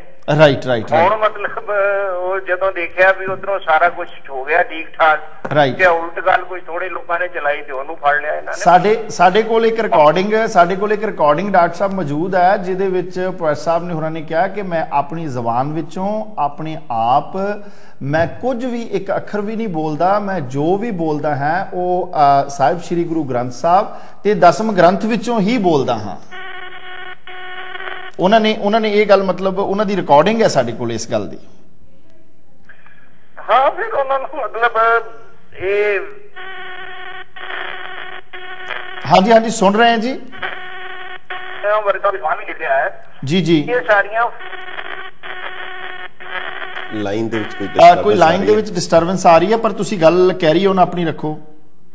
ਹਾਂਜੀ। ਹਾਂਜੀ। ਚਿੱਤਰਵਤੀ ਨਗਰੀ ਹੈ ਚਿੱਤਰਮਤੀ ਇੱਕ ਨਗਰੀ ਹੈ ਤੇ ਚਿੱਤਰ ਸਿੰਘ ਉਹਦਾ ਰਾਜਾ ਹੈ ਹਨੂਮੰਤ ਸਿੰਘ ਉਹਦਾ ਲੜਕਾ ਹੈ। ਜੀ, ਇਹ ਜੀ। ਹੁਣ ਸਾਰੀਆਂ ਦੇਖੋ ਜਿਸ ਤਰ੍ਹਾਂ ਆਪਾਂ ਬੱਚਿਆਂ ਨੂੰ ਕਹਾਣੀਆਂ ਪਾ ਕੇ ਸਮਝਾਉਂਦੇ ਆ ਨਾ ਵੀ ਇੱਕ ਸੀ ਰਾਜਾ ਇੱਕ ਫਲਾਣਾ ਸੀ ਇੱਕ ਸੀ ਇਹ। ਜੀ ਜੀ। ਉਹਦੇ ਵਿੱਚ ਅਸੀਂ ਉਹਦੀ ਵਾਸਤਵਿਕਤਾ ਜਾਂ ਕੋਈ ਇਤਿਹਾਸਿਕਤਾ ਦੀ ਗੱਲ ਨਹੀਂ ਕਰ ਰਹੇ ਹੁੰਦੇ। ਦਰਅਸਲ ਉਹਦਾ ਮੋਟਿਵ ਹੁੰਦਾ ਹੈ ਕਿ ਬੱਚੇ ਨੂੰ ਅਸੀਂ ਕੁਝ ਸਮਝਾਉਣਾ ਹੈ। ਜੀ ਜੀ ਜੀ ਜੀ। ਤੇ ਉਹ ਇਸੇ ਤਰ੍ਹਾਂ ਦੀਆਂ ਇਹ ਸਾਰੀਆਂ ਕਹਾਣੀਆਂ ਨੇ ਔਰ ਉਹ ਚਿੱਤਰਵਤੀ ਨਗਰੀ ਵਿਖੇ ਚਿੱਤਰ ਸਿੰਘ ਇੱਕ ਨ੍ਰਿਪ ਏਕ ਤਾਕੋ ਰੂਪ ਅਨੂਪ ਅਦ ਜੋ ਬਿਰਦ ਰੱਖਿਓ ਸੁਧਾਰ। ਜੀ ਜੀ ਜੀ। ਮਤਲਬ ਇਹ ਉਹ ਕਹਾਣੀਆਂ ਨੇ ਜਿਨ੍ਹਾਂ ਜਿਨ੍ਹਾਂ ਦਾ ਵੇਰਵਾ ਮਤਲਬ ਸਾਨੂੰ ਅਲਿਫ ਲੈਲਾ ਦੇ ਵਿੱਚ ਵੀ ਮਿਲਦਾ ਹੈ ਬੈਤਾਲ ਪਚੀਸੀ ਦੇ ਵਿੱਚ ਵੀ ਮਿਲਦਾ ਹੈ ਜੀ ਜੀ। ਪੰਚਤੰਤਰਾਂ ਦੇ ਵਿੱਚ ਵੀ ਮਿਲਦਾ ਹੈ। ਜੀ ਜੀ। ਤੇ ਗੁਰੂ ਸਾਹਿਬ ਜੋ ਕਿ ਬਹੁਤ ਵੱਡੇ ਸਾਹਿਤਕਾਰ ਵੀ ਸਨ ਨਾਲ ਹੀ ਨਾਲ ਅਧਿਆਤਮਿਕ ਪੁਰਸ਼ ਹੋਣ ਦੇ ਨਾਲ। ਜੀ ਜੀ। ਤੇ ਉਹ ਇਹਨਾਂ ਗੱਲਾਂ ਨੂੰ ਸੋਚ ਰਹੇ ਨੇ ਕਿ ਬਈ ਇਸ ਤਰ੍ਹਾਂ ਦਾ ਜਿਹੜਾ ਪ੍ਰੇਮ ਇਸ ਤਰ੍ਹਾਂ ਦਾ ਯਾਨੀ ਕਾਮੁਕਤਾ ਜਿਹੜੀ ਅੰਨੀ ਕਾਮੁਕਤਾ ਹੈ ਜੀ। ਉਹ ਵਿਅਕਤੀ ਨੂੰ ਕਿੱਥੋਂ ਤੱਕ ਡੁਬੋ ਸਕਦੀ ਹੈ ਇਹਦਾ ਸਾਰਾ ਇਹਨਾਂ ਕਹਾਣੀਆਂ ਦੇ ਵਿੱਚ ਵਰਣਨ ਹੈ। ਮੈਂ ਤੇ ਸਮਝਦਾ ਵੀ ਇਹ ਬਹੁਤ ਜ਼ਰੂਰੀ ਔਰ ਉਪਯੋਗੀ ਹੈ। ਔਰ ਫਿਰ ਮੈਂ ਜਿਵੇਂ ਹੁਣੇ ਬੇਨਤੀ ਕੀਤੀ ਜੀ। ਇਹਨਾਂ ਦੇ ਵਿੱਚੋਂ ਸਾਡੀਆਂ ਚਾਰ ਬੱਜਰ ਕੁਰਹਿਤਾਂ ਜੋ ਜਿਹੜੀ ਇੱਕ ਕੁਰਹਿਤ ਹੈ ਜੀ। ਉਹਦਾ ਵੀ ਵਰਣਨ ਮੈਂ ਸਮਝਦਾ ਵੀ ਇਹੋ ਜਿਹੇ ਗ੍ਰੰਥਾਂ ਨੂੰ ਹੀ ਪੜ੍ਹ ਕੇ ਤੇ ਵਿਦਵਾਨਾਂ ਨੇ ਲਿਆ ਹੋਵੇਗਾ ਜਦੋਂ ਇਹ ਰਹਿਤ ਮਰਿਆਦਾ ਬਣਾਈ ਗਈ ਹੈ। ਰਾਈਟ ਰਾਈਟ ਡਾਕਟਰ ਸਾਹਿਬ ਇੱਕ ਮੈਂ ਤੁਹਾਡੇ ਕੋਲੋਂ ਕਿਉਂਕਿ ਇੱਕ ਪਾਖਿਆਨ ਸ਼ਬਦ ਜਿਹੜਾ ਹੈ ਉਹ ਬੜਾ ਆਮ ਆਦਮੀ ਦੇ ਸਮਝਣ ਵਾਲੀ ਗੱਲ ਨਹੀਂ ਕਿਉਂਕਿ ਜਿੱਥੇ ਵੀ ਆਉਂਦਾ ਇਹ ਗੱਲ ਚਰਿਤਰਿਓ ਪਾਖਿਆਨ ਦੀ ਗੱਲ ਆਉਂਦੀ ਹੈ। ਥੋੜਾ ਸੌਖੇ ਸ਼ਬਦਾਂ ਦੇ ਵਿੱਚ ਸਾਨੂੰ ਪਾਖਿਆਨ ਸ਼ਬਦ ਵੀ ਸਾਡੇ ਦਰਸ਼ਕਾਂ ਨੂੰ ਦੱਸੋਗੇ ਕਿ ਪਾਖਿਆਨ ਦਾ ਮਤਲਬ ਕੀ ਹੈ? ਬਿਲਕੁਲ ਬਹੁਤ ਅੱਛਾ ਤੁਸੀਂ ਇਹ ਪੁੱਛਿਆ ਦਰਅਸਲ। ਜੀ। ਦੇਖੋ ਜਿਸ ਸਮੇਂ ਗੁਰੂ ਦਾ ਪੀਰੀਅਡ ਹੈ ਨਾ ਮਿਡਲ ਪੀਰੀਅਡ ਮਿਡੀਵੀਅਲ ਏਜ ਹੈ। ਜੀ ਜੀ। ਜੀ ਜੀ। ਉਸ ਵੇਲੇ ਸਾਰੇ ਰਾਜਿਆਂ ਨੇ ਕਵੀ ਰੱਖੇ ਹੁੰਦੇ ਸੀ। ਜੀ ਜੀ। ਤੇ ਕਵੀ ਜਿਹੜੇ ਸੀ ਉਹ ਜ਼ਿਆਦਾਤਰ ਰਾਜੇ ਨੂੰ ਖੁਸ਼ ਕਰਨ ਵਾਸਤੇ ਕਾਮ ਵਾਸਨਾ ਦੇ ਨਾਲ ਸੰਬੰਧਿਤ ਕਹਾਣੀਆਂ ਬਣਾ ਬਣਾ ਕੇ ਦੋਹੇ ਬਣਾ ਬਣਾ ਕੇ ਇਹ ਸੁਣਾਉਂਦੇ ਹੁੰਦੇ ਸਨ ਤੇ ਇਨਾਮ ਲੈਂਦੇ ਹੁੰਦੇ ਸਨ। ਠੀਕ ਹੈ ਜੀ। ਅੱਛਾ ਉਹ ਹੁਣ ਕੁਝ ਅੱਛੇ ਲੋਕ ਵੀ ਸਨ ਉਸ ਵੇਲੇ ਜਿਨ੍ਹਾਂ ਨੇ ਦਰਸਲ ਉਸ ਸਮੇਂ ਕਵਿਤਾ ਜਿਹੜੀ ਹੈ ਦੋ ਤਰ੍ਹਾਂ ਦੀ ਸੀ। ਜੀ। ਇੱਕ ਤੇ ਸੀ ਲੀਲਾ ਕਾਵ ਜੀ। ਜਿਹੜੀ ਡਿਲਾਈਟ ਵਾਸਤੇ ਆਨੰਦ ਵਾਸਤੇ ਜਿੱਦਾਂ ਮਤਲਬ ਬਾਂਸਰੀ ਵਜਾਉਣਾ ਤਬਲਾ ਵਜਾਉਣਾ ਜਾਂ ਮਤਲਬ ਕੀਰਤਨ ਸੁਣਨਾ ਜਾਂ ਕੀਰਤਨ ਕਰਨਾ ਜਿਹਦੇ ਵਿੱਚੋਂ ਕੁਝ ਸਾਨੂੰ ਮੈਟੀਰੀਅਲੀ ਪ੍ਰਾਪਤ ਨਹੀਂ ਹੁੰਦਾ ਲੇਕਿਨ ਆਨੰਦ ਸਾਨੂੰ ਮਿਲਦਾ ਜੀ। ਉਹ ਉਹ ਲੀਲਾ ਪਰਮਾਤਮਾ ਦੀ ਲੀਲਾ ਦੇ ਨਾਲ ਸੰਬੰਧਿਤ ਰੱਖਣ ਵਾਲੇ ਜਿਹੜੇ ਗੀਤ ਨੇ ਸ਼ਬਦ ਨੇ ਭਜਨ ਨੇ ਉਹ ਗਾਏ ਜਾਂਦੇ ਨੇ ਉਹ ਲੀਲਾ ਕਾਵ ਦੇ ਵਿੱਚ ਆਉਂਦੇ ਨੇ। ਜੀ ਜੀ ਜੀ ਜੀ। ਦੂਸਰੇ ਕਿਸਮ ਦੇ ਉਸ ਵੇਲੇ ਉਹ ਚੀਜ਼ਾਂ ਨੇ ਜਿਹੜੀਆਂ ਦਰਅਸਲ ਸਮਾਜਿਕ ਉਪਯੋਗਤਾ ਨੂੰ ਧਿਆਨ ਵਿੱਚ ਰੱਖ ਕੇ ਲਿਖੀਆਂ ਜਾਂਦੀਆਂ ਸਨ ਉਹਨਾਂ ਨੂੰ ਚਰਿਤ ਕਾਵ ਕਹਿੰਦੇ। ਠੀਕ ਹੈ ਜੀ।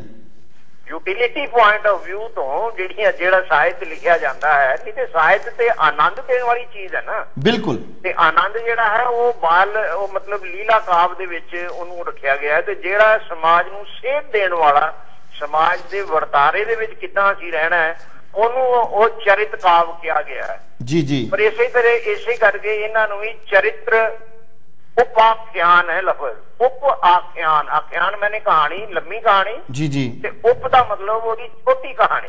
ਠੀਕ ਹੈ ਜੀ। ਇਹ ਚਰਿਤ ਉਪਾਖਿਆਨ ਨੇ ਔਰ ਇਹਦਾ ਮੈਂ ਹੋਰ ਉਦਾਹਰਣ ਦਿੰਨਾ ਜੀ। ਜਿੱਦਾਂ ਦੇਖੋ ਹਿੰਦੂ ਵੀਰਾਂ ਦੇ ਵਿੱਚ ਰਾਮ ਚਰਿਤ ਮਾਨਸ ਹੈ। ਜੀ ਜੀ। ਇਹਨੂੰ ਮੋਟੇ ਲਫ਼ਜ਼ਾਂ 'ਚ ਰਮਾਇਣ ਕਹਿੰਦੇ ਆ। ਬਿਲਕੁਲ ਜੀ। ਲੇਕਿਨ ਉਹਦਾ ਐਕਚੁਅਲ ਨਾਮ ਹੈਗਾ ਤੁਲਸੀਦਾਸ ਦੀ ਰਾਮ ਚਰਿਤ ਮਾਨਸ। ਠੀਕ ਹੈ। ਉੱਥੇ ਹੁਣ ਦੇਖੋ ਸਾਰੇ ਗ੍ਰੰਥ ਦੇ ਵਿੱਚ ਇਹੋ ਹੀ ਦੱਸਿਆ ਹੈ ਕਿ ਪੁੱਤਰ ਨੇ ਪਿਓ ਦਾ ਕਹਿਣਾ ਕਿੱਦਾਂ ਮੰਨਣਾ ਹੈ? ਰਾਈਟ ਭਰਾ ਨੇ ਭਰਾ ਦੇ ਨਾਲ ਕਿੱਦਾਂ ਰਹਿਣਾ ਹੈ? ਰਾਈਟ ਭਰਾ ਨੇ ਭਰਜਾਈ ਦੇ ਨਾਲ ਕਿੱਦਾਂ ਰਹਿਣਾ ਹੈ? ਜੀ। ਪਿਓ ਨੇ ਮਤਲਬ ਆਪਣੇ ਪਰਿਵਾਰ ਪ੍ਰਤੀ ਕੀ ਕਰਤੱਵ ਨੇ ਉਹਦੇ? ਜੀ। ਇਹ ਸਾਰਾ ਯਾਨੀ ਇਹ ਇਹ ਸਮਾਜਿਕ ਯੂਟਿਲਿਟੀ ਨੂੰ ਧਿਆਨ ਵਿੱਚ ਰੱਖ ਕੇ ਜਿਹੜਾ ਲਿਖਿਆ ਜਾਂਦਾ ਉਹਨੂੰ ਚਰਿਤ ਕਾਵ ਕਹਿੰਦੇ ਨੇ। ਜੀ ਜੀ ਜੀ ਗੁਰੂ ਸਾਹਿਬ ਨੇ ਬੜਾ ਅਪਰੋਪਰੀਏਟ ਨਾਂ ਦਿੱਤਾ ਇਹਨੂੰ। ਜੀ। ਚਰਿਤੋਪਾਖਿਆਨ। ਜੀ। ਇਹ ਚਰਿੱਤਰ ਜਿਹੜੇ ਨੇ ਜਿੰਨੇ ਵੀ ਇਹਦੇ ਵਿੱਚ ਆਏ ਨੇ ਜੀ। ਇਹ ਇਹ ਸਾਰੇ ਕਹਾਣੀਆਂ ਨੇ ਔਰ ਇਹ ਸਿੱਖਿਆਦਾਇਕ ਕਹਾਣੀਆਂ ਨੇ ਤਾਂ ਕਿ ਸਮਾਜ ਦੇ ਵਿੱਚ ਅੰਨੀ ਕਾਮੁਕਤਾ ਜੀ ਜੀ। ਅੰਨਾ ਵਿਹਾਰ ਜਿਹੜਾ ਹੈ ਉਹ ਮਤਲਬ ਉਹਦੇ ਤੇ ਠੱਲ ਪਵੇ ਰਾਈਟ ਕਈ ਵਾਰੀ ਪ੍ਰੋਫੈਸਰ ਸਾਹਿਬ ਦੀਆਂ ਰਚਨਾਵਾਂ ਦੇ ਵਿੱਚੋਂ ਜਦੋਂ ਪ੍ਰੋਫੈਸਰ ਬੋਲਦੇ ਨੇ ਇਹ ਮਤਲਬ ਚਰਿੱਤਰ ਨੂੰ ਚਲਿੱਤਰ ਦੇ ਵਿੱਚ ਤਬਦੀਲ ਕਰਦੇ ਨੇ। ਮਤਲਬ ਉਹਦਾ ਕੀ ਇਹ ਤੇ ਚਲਿੱਤਰ ਫਿਰ ਇਹਨਾਂ ਨੇ ਆਪ ਚਲਿੱਤਰ ਕਰਨੇ ਹੁੰਦੇ ਆ ਨਾ। ਠੀਕ ਹੈ ਜੀ। ਇਸ ਕਰਕੇ ਚਲਿੱਤਰ ਲਫ਼ਜ਼ ਨਹੀਂ ਹੈਗਾ ਚਰਿੱਤਰ ਹੈ ਲਫ਼ਜ਼। ਜੀ ਜੀ ਜੀ ਚਰਿੱਤਰੋ ਆਖਿਆਨ right right right right right ਇਹ ਤੇ ਆਪਣੇ ਹਿਸਾਬ ਨਾਲ ਦੇਖੋ ਇਹ ਬੰਦੇ ਦੀ ਮੈਂਟੈਲਿਟੀ ਹੈ ਜੇ ਲੋਕ ਇਦਾਂ ਸੁਣ ਕੇ ਖੁਸ਼ ਹੁੰਦੇ ਆ ਚਲੋ ਇਦਾਂ ਕਰ ਲਓ। ਚਲਿੱਤਰ ਇਹ ਤਾਂ ਕੋਈ ਗੱਲ ਨਾ ਨਾ ਹੋਈ। ਰਾਈਟ ਜਿਹੜਾ ਹੈ ਹੁਣ ਦਰਅਸਲ ਮਾਫ ਕਰਨਾ ਅਸੀਂ ਤੇ ਬੜੇ ਰਗੜੇ ਖਾ ਖਾ ਕੇ ਤੇ ਪ੍ਰੋਫੈਸਰ ਬਣੇ ਹੋਏ ਆ। ਜੀ। ਤੇ ਇਹਨਾਂ ਨੇ ਜ਼ਿਆਦਾਤਰ ਲੋਕਾਂ ਨੂੰ ਮੈਂ ਦੇਖ ਰਿਹਾ ਵੀ ਵਾਜੇ ਦੀਆਂ ਦੋ ਸੁਰਾਂ ਖੱਟ ਲਈਆਂ ਚਾਰ ਸ਼ਬਦ ਯਾਦ ਕਰ ਲਏ ਤੇ ਨਾਲ ਪ੍ਰੋਫੈਸਰ ਲਾ ਲਿਆ ਆਪਣੇ ਚੱਲੇ ਉਹਨਾਂ ਦਾ ਵੀ ਕਾਰੋਬਾਰ ਚੱਲੀ ਜਾ ਰਿਹਾ ਹੈ। ਰਾਈਟ ਡਾਕਟਰ ਸਾਹਿਬ ਸੰਗਤ ਹੁਣ ਨਹੀਂ ਮਤਲਬ ਇਸ ਚੀਜ਼ ਦੇ ਚਿੰਤਨ ਨਹੀਂ ਕਰਨਾ ਚਾਹੁੰਦੀ ਸਿਰਫ ਕੰਨ ਰਸ ਤੱਕ ਹੀ ਸੀਮਤ ਰਹਿਣਾ ਚਾਹੁੰਦੀ ਹੈ। ਜੀ। ਫਿਰ ਠੀਕ ਹੈ ਉਹਦੇ ਵਿੱਚ ਕੋਈ ਕੀ ਕਰ ਸਕਦਾ ਹੈ? ਰਾਈਟ ਲਾਂਬਾ ਜੀ ਕੋਈ ਸਵਾਲ ਕਰਨਾ ਚਾਹੁੰਦੇ ਨੇ ਜੀ? ਲਾਂਬਾ ਜੀ। ਡਾਕਟਰ ਸਾਹਿਬ ਵਾਹਿਗੁਰੂ ਜੀ ਕਾ ਖਾਲਸਾ ਵਾਹਿਗੁਰੂ ਜੀ ਕੀ ਫਤਿਹ। ਵਾਹਿਗੁਰੂ ਜੀ ਕੀ ਫਤਿਹ ਜੀ। ਡਾਕਟਰ ਸਾਹਿਬ ਬਹੁਤ ਬਹੁਤ ਧੰਨਵਾਦ ਤੁਹਾਡਾ ਜਸ ਪੰਜਾਬੀ ਧਿਆਨ ਦਾ। ਤੇ ਡਾਕਟਰ ਸਾਹਿਬ ਤੁਸੀਂ ਦਸਮ ਗ੍ਰੰਥ ਦੇ ਉੱਤੇ ਕਾਫੀ ਕੁਝ ਕੰਮ ਕੀਤਾ ਹੈ ਉਹਦਾ ਟਰਾਂਸਲੇਸ਼ਨ ਵੀ ਕੀਤੀ ਹੈ ਹਿੰਦੀ ਵਿੱਚ ਅੰਗਰੇਜ਼ੀ ਵਿੱਚ। ਤੇ ਸ੍ਰੀ ਅਕਾਲ ਤਖਤ ਸਾਹਿਬ ਦਾ ਵੀ ਹੁਕਮ ਹੈ ਕਿ ਸ੍ਰੀ ਦਸਮ ਗ੍ਰੰਥ ਉਹਨਾਂ ਨੇ ਲਫ਼ਜ਼ ਸ੍ਰੀ ਦਸਮ ਗ੍ਰੰਥ ਵਰਤਿਆ ਹੈ ਇਹ ਸਿੱਖ ਪੰਥ ਦਾ ਅਨਿਖੜਵਾਂ ਅੰਗ ਹੈ। ਔਰ ਨਾਲ ਹੀ ਸ੍ਰੀ ਅਕਾਲ ਤਖਤ ਸਾਹਿਬ ਦਾ ਹੁਕਮਨਾਮਾ ਵੀ ਹੈ ਕਿ ਜਿਹੜੇ ਲੋਕ ਦਸਮ ਗ੍ਰੰਥ ਦੇ ਖਿਲਾਫ ਪ੍ਰਚਾਰ ਕਰ ਰਹੇ ਹੈ ਉਹ ਸ਼ਰਾਰਤੀ ਅੰਸਰ ਹੈ ਉਹਨਾਂ ਦਾ ਮੂੰਹ ਤੋੜਵਾ ਜਵਾਬ ਦੇਣਾ ਚਾਹੀਦਾ ਹੈ। ਤੇ ਪਰ ਪ੍ਰੋਫੈਸਰ ਸਾਹਿਬ ਨੇ ਲਿਖਤੀ ਤੌਰ ਤੇ ਔਰ ਬੋਲ ਕੇ ਕਿਹਾ ਕਿ ਦਸਮ ਗ੍ਰੰਥ ਇੱਕ ਹਿੱਸਾ ਸਿੱਖਾਂ ਨੂੰ ਹਿੰਦੂ ਬਣਾਉਣ ਵਾਲਾ ਹੈ ਤੇ ਦੂਸਰਾ ਹਿੱਸਾ ਸਿੱਖਾਂ ਨੂੰ ਚਰਿੱਤਰਹੀਣ ਬਣਾਉਣ ਵਾਲਾ ਹੈ। ਤੁਹਾਡੇ ਕੀ ਕਮੈਂਟ ਹੈ? ਤੁਹਾਡੇ ਕੰਮ ਦੇ ਉੱਤੇ ਕਮੈਂਟ ਹੈਗਾ। ਇੱਕ ਮਿੰਟ ਮੈਂ ਇੱਥੇ ਹੀ ਤੁਹਾਨੂੰ ਦੱਸਦਾ ਜਿਹੜਾ ਹਿੰਦੂ ਬਣਾਉਣ ਵਾਲੀ ਗੱਲ ਹੈ ਨਾ। ਜੀ। ਦੇਖੋ ਬਚਿੱਤਰ ਨਾਟਕ ਇੱਕ ਐਸਾ ਗ੍ਰੰਥ ਹੈ ਉਹਦੇ ਵਿੱਚ ਜਿਹੜਾ ਦਰਅਸਲ ਇਹ ਦੱਸਦਾ ਕਿ ਅਸੀਂ ਹਿੰਦੂ ਟ੍ਰੈਡੀਸ਼ਨ ਨੂੰ ਭਾਈ ਛੱਡ ਚੁੱਕੇ ਹਾਂ। ਕਿਸ ਤਰ੍ਹਾਂ? ਜੀ। ਸਾਰੇ 5000 ਸਾਲ ਦੇ ਇਤਿਹਾਸ ਵਿੱਚ ਦੇਖ ਲਓ ਤੁਸੀਂ ਜਿੱਥੇ ਜਿੰਨੇ ਵੀ ਇੱਥੇ ਗ੍ਰੰਥ ਰਚੇ ਗਏ ਨੇ ਸਭ ਤੋਂ ਪਹਿਲਾਂ ਕਵੀ ਜਿਹੜਾ ਸਰਸਵਤੀ ਦੀ ਵੰਦਨਾ ਕਰਦਾ ਹੈ ਜੀ। ਉਹ ਗਣੇਸ਼ ਦੀ ਵੰਦਨਾ ਕਰਦਾ ਹੈ ਫਿਰ ਉਹ ਰਾਜੇ ਦੀ ਵੰਦਨਾ ਕਰਦਾ ਹੈ ਤੇ ਫਿਰ ਅੱਗੇ ਚੱਲਦਾ ਹੈ ਉਹ।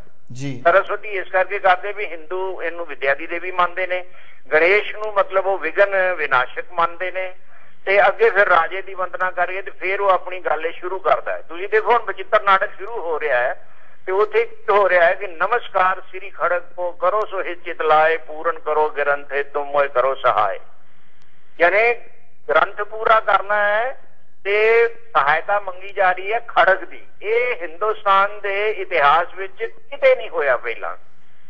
ਔਰ ਇਹ ਮਤਲਬ ਆਪ ਦੱਸ ਰਿਹਾ ਵੀ ਅਸੀਂ ਭਾਈ ਉਸ ਟ੍ਰੈਡੀਸ਼ਨ ਨੂੰ ਜਿਹੜੀ ਪ੍ਰਚਲਿਤ ਸੀ, ਅਸੀਂ ਛੱਡ ਚੁੱਕੇ ਹਾਂ। ਸਾਡੀ ਇਹ ਨਵੀਂ ਟ੍ਰੈਡੀਸ਼ਨ ਹੈ, ਹੂੰ ਹੂੰ ਹੂੰ, ਠੀਕ ਹੈ ਜੀ। ਡਾਕਟਰ ਸਾਹਿਬ ਤੁਹਾਡੇ ਅਸੀਂ ਤਹਿ ਦਿਲੋਂ ਸ਼ੁਕਰਗੁਜ਼ਾਰ ਹਾਂ ਕਿ ਤੁਸੀਂ ਕਈ ਭਰਮ ਭਲੇਖੇ ਜਿਹੜੇ ਆਮ ਦਰਸ਼ਕਾਂ ਦੇ ਵਿੱਚ ਪਾਏ ਜਾਂਦੇ ਸਨ ਸਾਰ ਹੈ ਮਤਲਬ ਇਹ ਅਸੀਂ ਤੇ ਹੁਣ ਯੂਨੀਵਰਸਿਟੀਆਂ 'ਚ ਪੜਾਉਣ ਵਾਲੇ ਲੋਕ ਜਿਹੜੇ ਨੇ ਜੀ ਜੀ। ਸਮਾਜ ਦੇ ਸੇਵਕ ਹੀ ਹੁੰਦੇ ਨੇ। ਆ ਦੇਖੋ ਜੀ ਇਸ ਤੋਂ ਵੱਡੀ ਕੋਈ ਗੱਲ ਨਹੀਂ ਹੈ ਕਿਉਂਕਿ ਬਾਰ-ਬਾਰ ਅਖਬਾਰਾਂ ਦੀ ਜ਼ਬਾਨੀ ਜਾਂ ਕਈ ਥਾਵਾਂ ਦੇ ਉੱਤੇ ਇਕੱਠ ਕਰਕੇ 20 50 ਬੰਦਿਆਂ ਦੇ ਉਥੇ ਤੁਹਾਡਾ ਜ਼ਿਕਰ ਕਰਨਾ ਹੈ। ਮਤਲਬ ਅਸੀਂ ਉਸ ਨੂੰ ਵੀ ਨਜਾਇਜ਼ ਸਮਝਦੇ ਸਾਂ। ਹੋਰ ਸਾਡਾ ਕੋਈ ਵੀ ਅਸੀਂ ਇਹ ਕਲੀਅਰ ਕਰਨਾ ਚਾਹੁੰਦੇ ਸਾਂ। ਪਹਿਲਾਂ ਵੀ ਅਸੀਂ ਕਲੀਅਰ ਕੀਤਾ, ਸਾਡਾ ਨਿੱਜੀ ਤੌਰ ਦੇ ਉੱਤੇ ਕੋਈ ਪ੍ਰੋਫੈਸਰ ਦਰਸ਼ਨ ਸਿੰਘ ਹੋਰਾਂ ਨਾਲ ਵਿਵਾਦ ਨਹੀਂ ਹੈ। ਅੱਛਾ ਕੀਰਤਨ ਵੀ ਨਹੀਂ ਹੈ ਉਹ ਤਾਂ ਠੀਕ ਹੈ। ਜੀ ਅੱਛਾ ਕੀਰਤਨ ਕਰਦੇ ਨੇ ਅੱਛਾ ਮਤਲਬ ਕੰਨਾਂ ਨੂੰ ਉਹਨਾਂ ਦੇ ਕੀਰਤਨ ਨਾਲ ਰਸ ਵੀ ਆਉਂਦਾ ਪਰ ਇੱਕ ਕਹਾਣੀ ਨੂੰ ਜਿਹੜੀ ਕਿ ਪਹਿਲਾਂ ਕਿਹਾ ਗਿਆ ਕਿ ਦਸਮ ਗ੍ਰੰਥ ਵਿੱਚ ਲਿਖੀ ਹੋਈ ਹੈ ਗੁਰੂ ਗੋਬਿੰਦ ਸਿੰਘ ਦਾ ਨਾਮ ਆਇਆ ਪੜੂਏ ਦਾ ਨਾਮ ਆਇਆ ਵੇਸਵਾ ਦਾ ਨਾਮ ਆਇਆ ਉਥੋਂ ਉਹ ਚੀਜ਼ ਨਹੀਂ ਲੱਭੀ ਤੇ ਫਿਰ ਤੁਹਾਡੀ ਕਿਤਾਬ ਦਾ ਫਿਰ ਤੁਹਾਡੀ ਕਿਤਾਬ ਦੇ ਅਨੁਵਾਦ ਦਾ ਜ਼ਿਕਰ ਆਇਆ। ਸੋ ਇਸ ਕਰਕੇ ਮੈਂ ਇਹ ਸਮਝਦਾ ਕਿ ਤੁਹਾਡੇ ਵੱਲੋਂ ਦਿੱਤੇ ਹੋਏ ਇਹ ਜਿਹੜੇ ਚੰਦ ਮਿੰਟ ਨੇ ਇਹ ਸਾਡੇ ਵਾਸਤੇ ਬਹੁਤ ਹੀ ਕੀਮਤੀ ਨੇ ਔਰ ਮੈਂ ਅਦਾਰਾ ਜਸ ਪੰਜਾਬੀ ਵੱਲੋਂ ਡਾਕਟਰ ਜੋਤ ਸਿੰਘ ਜੀ ਤੁਹਾਡਾ ਬਹੁਤ ਬਹੁਤ ਤਹਿ ਦਿਲੋਂ ਸ਼ੁਕਰਗੁਜ਼ਾਰ ਬਹੁਤ ਬਹੁਤ ਧੰਨਵਾਦ ਡਾਕਟਰ ਸਾਹਿਬ। ਬਹੁਤ ਬਹੁਤ ਸ਼ੁਕਰੀਆ। ਮਾਨਮਤੇ ਪੰਜਾਬੀਆਂ ਦੀ ਕਚਹਿਰੀ ਦੇ ਵਿੱਚ ਦੱਸਣਾ ਚਾਹਾਂਗੇ ਕਿ ਪ੍ਰੋਗਰਾਮ ਇਸੇ ਰਫਤਾਰ ਇਸੇ ਬਹਾ ਦੇ ਵਿੱਚ ਜਾਰੀ ਰਹੇਗਾ। ਚੰਦ ਸਵਾਲ ਕਰਾਂਗੇ ਅਸੀਂ ਸਰਦਾਰ ਗੁਰਚਰਨਜੀਤ ਸਿੰਘ ਲਾਂਬਾ ਹੋਰਾਂ ਨਾਲ। ਸੋ ਮਿਲਦੇ ਆ ਇੱਕ ਛੋਟੇ ਜਿਹੇ ਬ੍ਰੇਕ ਤੋਂ ਬਾਅਦ।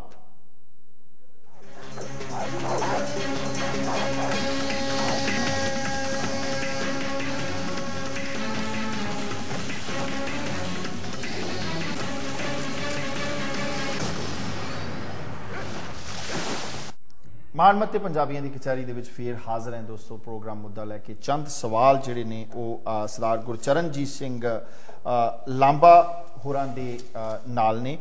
ਲਾਂਬਾ ਜੀ ਸਭ ਤੋਂ ਪਹਿਲਾ ਸਵਾਲ ਤੇ ਮੈਂ ਤੁਹਾਨੂੰ ਇਹ ਕਰਨਾ ਕਿ ਜਿਵੇਂ ਤੁਸੀਂ ਪਹਿਲਾਂ ਆਪਣੀ ਗੱਲਬਾਤ ਦੇ ਵਿੱਚ ਜ਼ਿਕਰ ਕੀਤਾ ਕਿ ਦੇਖੋ ਗੱਲ ਤੇ ਬੜੀ ਛੋਟੀ ਹੈ। ਰਾਈਟ ਵੀ ਇਹਨਾਂ ਨੇ ਇਹ ਗੱਲ ਕਹੀ। ਰਾਈਟ ਉਸ ਗੱਲ ਦੇ ਉੱਤੇ ਤੁਹਾਡੇ ਦੇ ਉੱਤੇ ਇੱਕ ਇਲਜ਼ਾਮ ਵੀ ਲੱਗਾ ਕਿ ਲਾਂਬਾ ਜੀ ਨੇ ਉਸ ਸੀਡੀ ਨੂੰ ਰੋਚੈਸਟਰ ਦੀ ਨੂੰ ਐਡਿਟ ਕੀਤਾ। ਪਰ ਤੁਹਾਡਾ ਕਹਿਣਾ ਕਿ ਤੁਸੀਂ ਐਡਿਟ ਨਹੀਂ ਕੀਤਾ ਜਸਟ ਲਾਈਕ ਉਸ ਸੀਡੀ ਦਾ ਉਸ ਪੂਰੇ ਪ੍ਰਚਾਰ ਦਾ ਇੱਕ ਛੋਟਾ ਹਿੱਸਾ ਜਿਹੜਾ ਸੀ ਉਹ ਕੱਢ ਕੇ ਜਿਹੜਾ ਦਿਖਾਇਆ ਗਿਆ। ਪਰ ਮੈਂ ਇੱਕ ਸਵਾਲ ਬੜਾ ਸੰਜੀਦਗੀ ਨਾਲ ਕਈ ਵਾਰੀ ਸੋਚਦਾ ਕਿ ਏਡੇ ਲੰਬੇ ਚੌੜੇ ਚੱਕਰ ਦੇ ਵਿੱਚ ਅੱਜ ਇਹ ਪੂਰੀ ਸਿੱਖ ਕੌਮ ਦੇ ਵਿੱਚ ਦੁਨੀਆ ਦੇ ਵਿੱਚ ਗੱਲ ਘੁੰਮ ਚੁੱਕੀ ਹੈ। ਜਿਹੜੀ ਕਿ ਅਸੀਂ ਨਹੀਂ ਚਾਹੁੰਦੇ ਸਾਂ ਕਿਉਂਕਿ ਅਸੀਂ ਇਹ ਚਾਹੁੰਦੇ ਸਾਂ ਕਿ ਸਿਰਫ ਤੇ ਸਿਰਫ ਉਸ ਚੀਜ਼ ਦਾ ਪਰ ਸਭ ਜਵਾਬ ਦੇ ਦੇਣ ਜੀ ਇਸ ਗੱਲ ਜਿਹੜੀ ਹੈ ਉਹਨਾਂ ਨੇ ਆਪਣੇ ਕੋਲੋਂ ਮਤਲਬ ਤਿਆਰ ਕੀਤੀ ਹੈ ਜਾਂ ਆਪਣੇ ਕੋਲੋਂ ਉਹਨਾਂ ਨੇ ਆਪਣੇ ਮਨ ਦੇ ਵਿੱਚ ਉਸ ਚੀਜ਼ ਦੀ ਉਪਜ ਹੈ ਉਸ ਕਹਾਣੀ ਨੂੰ ਕਹਿਣ ਦਾ ਉਹਨਾਂ ਦਾ ਅੰਦਾਜ਼ ਜਾਂ ਸਲੀਕਾ ਜਾਂ ਉਹ ਗਰਾਊਂਡ ਜਿਹੜੀ ਆਪ ਤਿਆਰ ਕੀਤੀ ਹੈ ਪਲੇਟਫਾਰਮ ਤੇ ਉਹ ਕਹਿ ਦੇਣ ਕਿ ਇਹ ਮੇਰੇ ਆਪਣੇ ਵਿਚਾਰ ਸਨ ਕਿ ਹੋ ਸਕਦਾ ਇਦਾਂ ਕਿ ਮਤਲਬ ਗੱਲ ਖਤਮ ਹੁੰਦੀ, ਪਰ ਇਹ ਗੱਲ ਨਹੀਂ ਮੁੱਕੀ।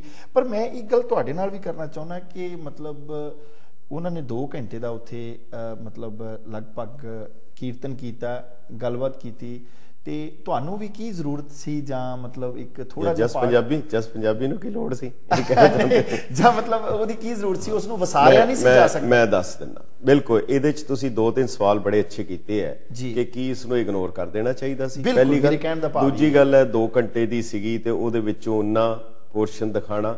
ਗੱਲ ਇਹ ਹੁੰਦੀ ਹੈ ਕਿ ਕੋਈ ਵੀ ਅਦਾਰਾ ਜਸ ਪੰਜਾਬੀ ਹੈ ਜਾਂ ਕੋਈ ਵੀ ਚੈਨਲ ਹੈ ਜਾਂ ਅਖਬਾਰਾਂ ਹੈਗੀਆਂ ਪ੍ਰਾਈਮ ਮਿਨਿਸਟਰ ਦੀ 4 ਘੰਟੇ ਦੀ ਸਪੀਚ ਹੋਏਗੀ ਤੇ ਉਹਦੇ ਚੋਂ 1-2 ਮਿੰਟ ਦੀ ਹੈ ਜਿਹੜੀ ਕਲਿੱਪਿੰਗ ਹੈਗੀ ਉਹ ਹੀ ਦਿਖਾਈ ਜਾਂਦੀ ਹੈ। ਜੀ। ਤੁਸੀਂ ਵੀ ਆਪਣਾ ਅਖਬਾਰ ਕੱਢਦੇ ਹੋ। ਤੁਸੀਂ ਵੀ ਕਦੀ ਪੂਰੀ ਦੀ ਪੂਰੀ ਇਬਾਰਤ ਨਹੀਂ ਕੱਢੋਗੇ। ਹੁਣ ਕੋਈ ਵੀ ਜਿਹੜੀ ਆਏਗੀ ਉਹ ਕਲਿੱਪਿੰਗ ਹੀ ਹੋਏਗੀ। ਜੀ। ਸਵਾਲ ਇਹ ਹੈਗਾ ਕਿ ਉਹ ਡਾਕਟਰਡ ਹੈ ਕੀ ਉਹ ਡਾਕਟਰਡ ਤਾਂ ਹੁੰਦੀ ਹੈ ਫੋਟੋ ਕਿਸੇ ਹੋਰ ਦੀ ਦਿਖਾਈ ਜਾਏ ਆਵਾਜ਼ ਕਿਸੇ ਹੋਰ ਦੀ ਦਿਖਾਈ ਜਾਏ। ਜੇ। ਉਸ ਦੇ ਵਿੱਚ ਕੋਈ ਮੋੜ ਤਰੋੜ ਕੀਤੀ ਜਾਏ ਕਲਿੱਪਿੰਗਸ ਅਗਰ ਉਹਨਾਂ ਨੇ ਇਹ ਖੁਦ ਮੰਨਿਆ ਇਹ ਜਿਹੜੇ ਦੋ ਲਫ਼ਜ਼ ਵਰਤੇ ਗਏ ਆ ਜਿਹੜੇ ਕਿ ਸਿੱਧੇ ਨਿੰਦਾ ਕਰਨ ਯੋਗ ਹੈ ਨਿੰਦਣ ਯੋਗ ਹੈ। ਔਰ ਉਹ ਕਹਿ ਵੀ ਰਹੇ ਹੈ ਕਿ ਉਹ ਉਹਨਾਂ ਨੇ ਲਫ਼ਜ਼ ਨਹੀਂ ਕਹੇ ਉਹ ਕਿਸੇ ਹੋਰ ਦਾ ਨਾਮ ਲੈ ਰਹੇ ਹੈ। ਇਹਦਾ ਮਤਲਬ ਉਹ ਮੰਨ ਰਹੇ ਹੈ ਕਿ ਹਾਂ ਇਹ ਲਫ਼ਜ਼ ਗਲਤ ਹੈਗੇ ਜੀ ਜੀ। ਹੁਣ ਜੇ ਗਲਤ ਲਫ਼ਜ਼ ਹੈ ਤੇ ਕਾਨੂੰਨ ਦੇ ਵਿੱਚ ਇੱਕ ਗੱਲ ਬੜੀ ਸਪਸ਼ਟ ਕਹੀ ਜਾਂਦੀ ਹੈ ਕਿ ਜੇ ਕਾਨੂੰਨ ਤੁਹਾਡੀ ਸਾਈਡ 'ਚ ਹੈ ਜੇ ਫੈਕਟ ਤੁਹਾਡੀ ਸਾਈਡ 'ਚ ਹੈ ਤੁਸੀਂ 1 ਮਿੰਟ 'ਚ ਦੱਸ ਸਕਦੇ ਹੋ ਭਾਈ ਇਹ ਹੈਗਾ।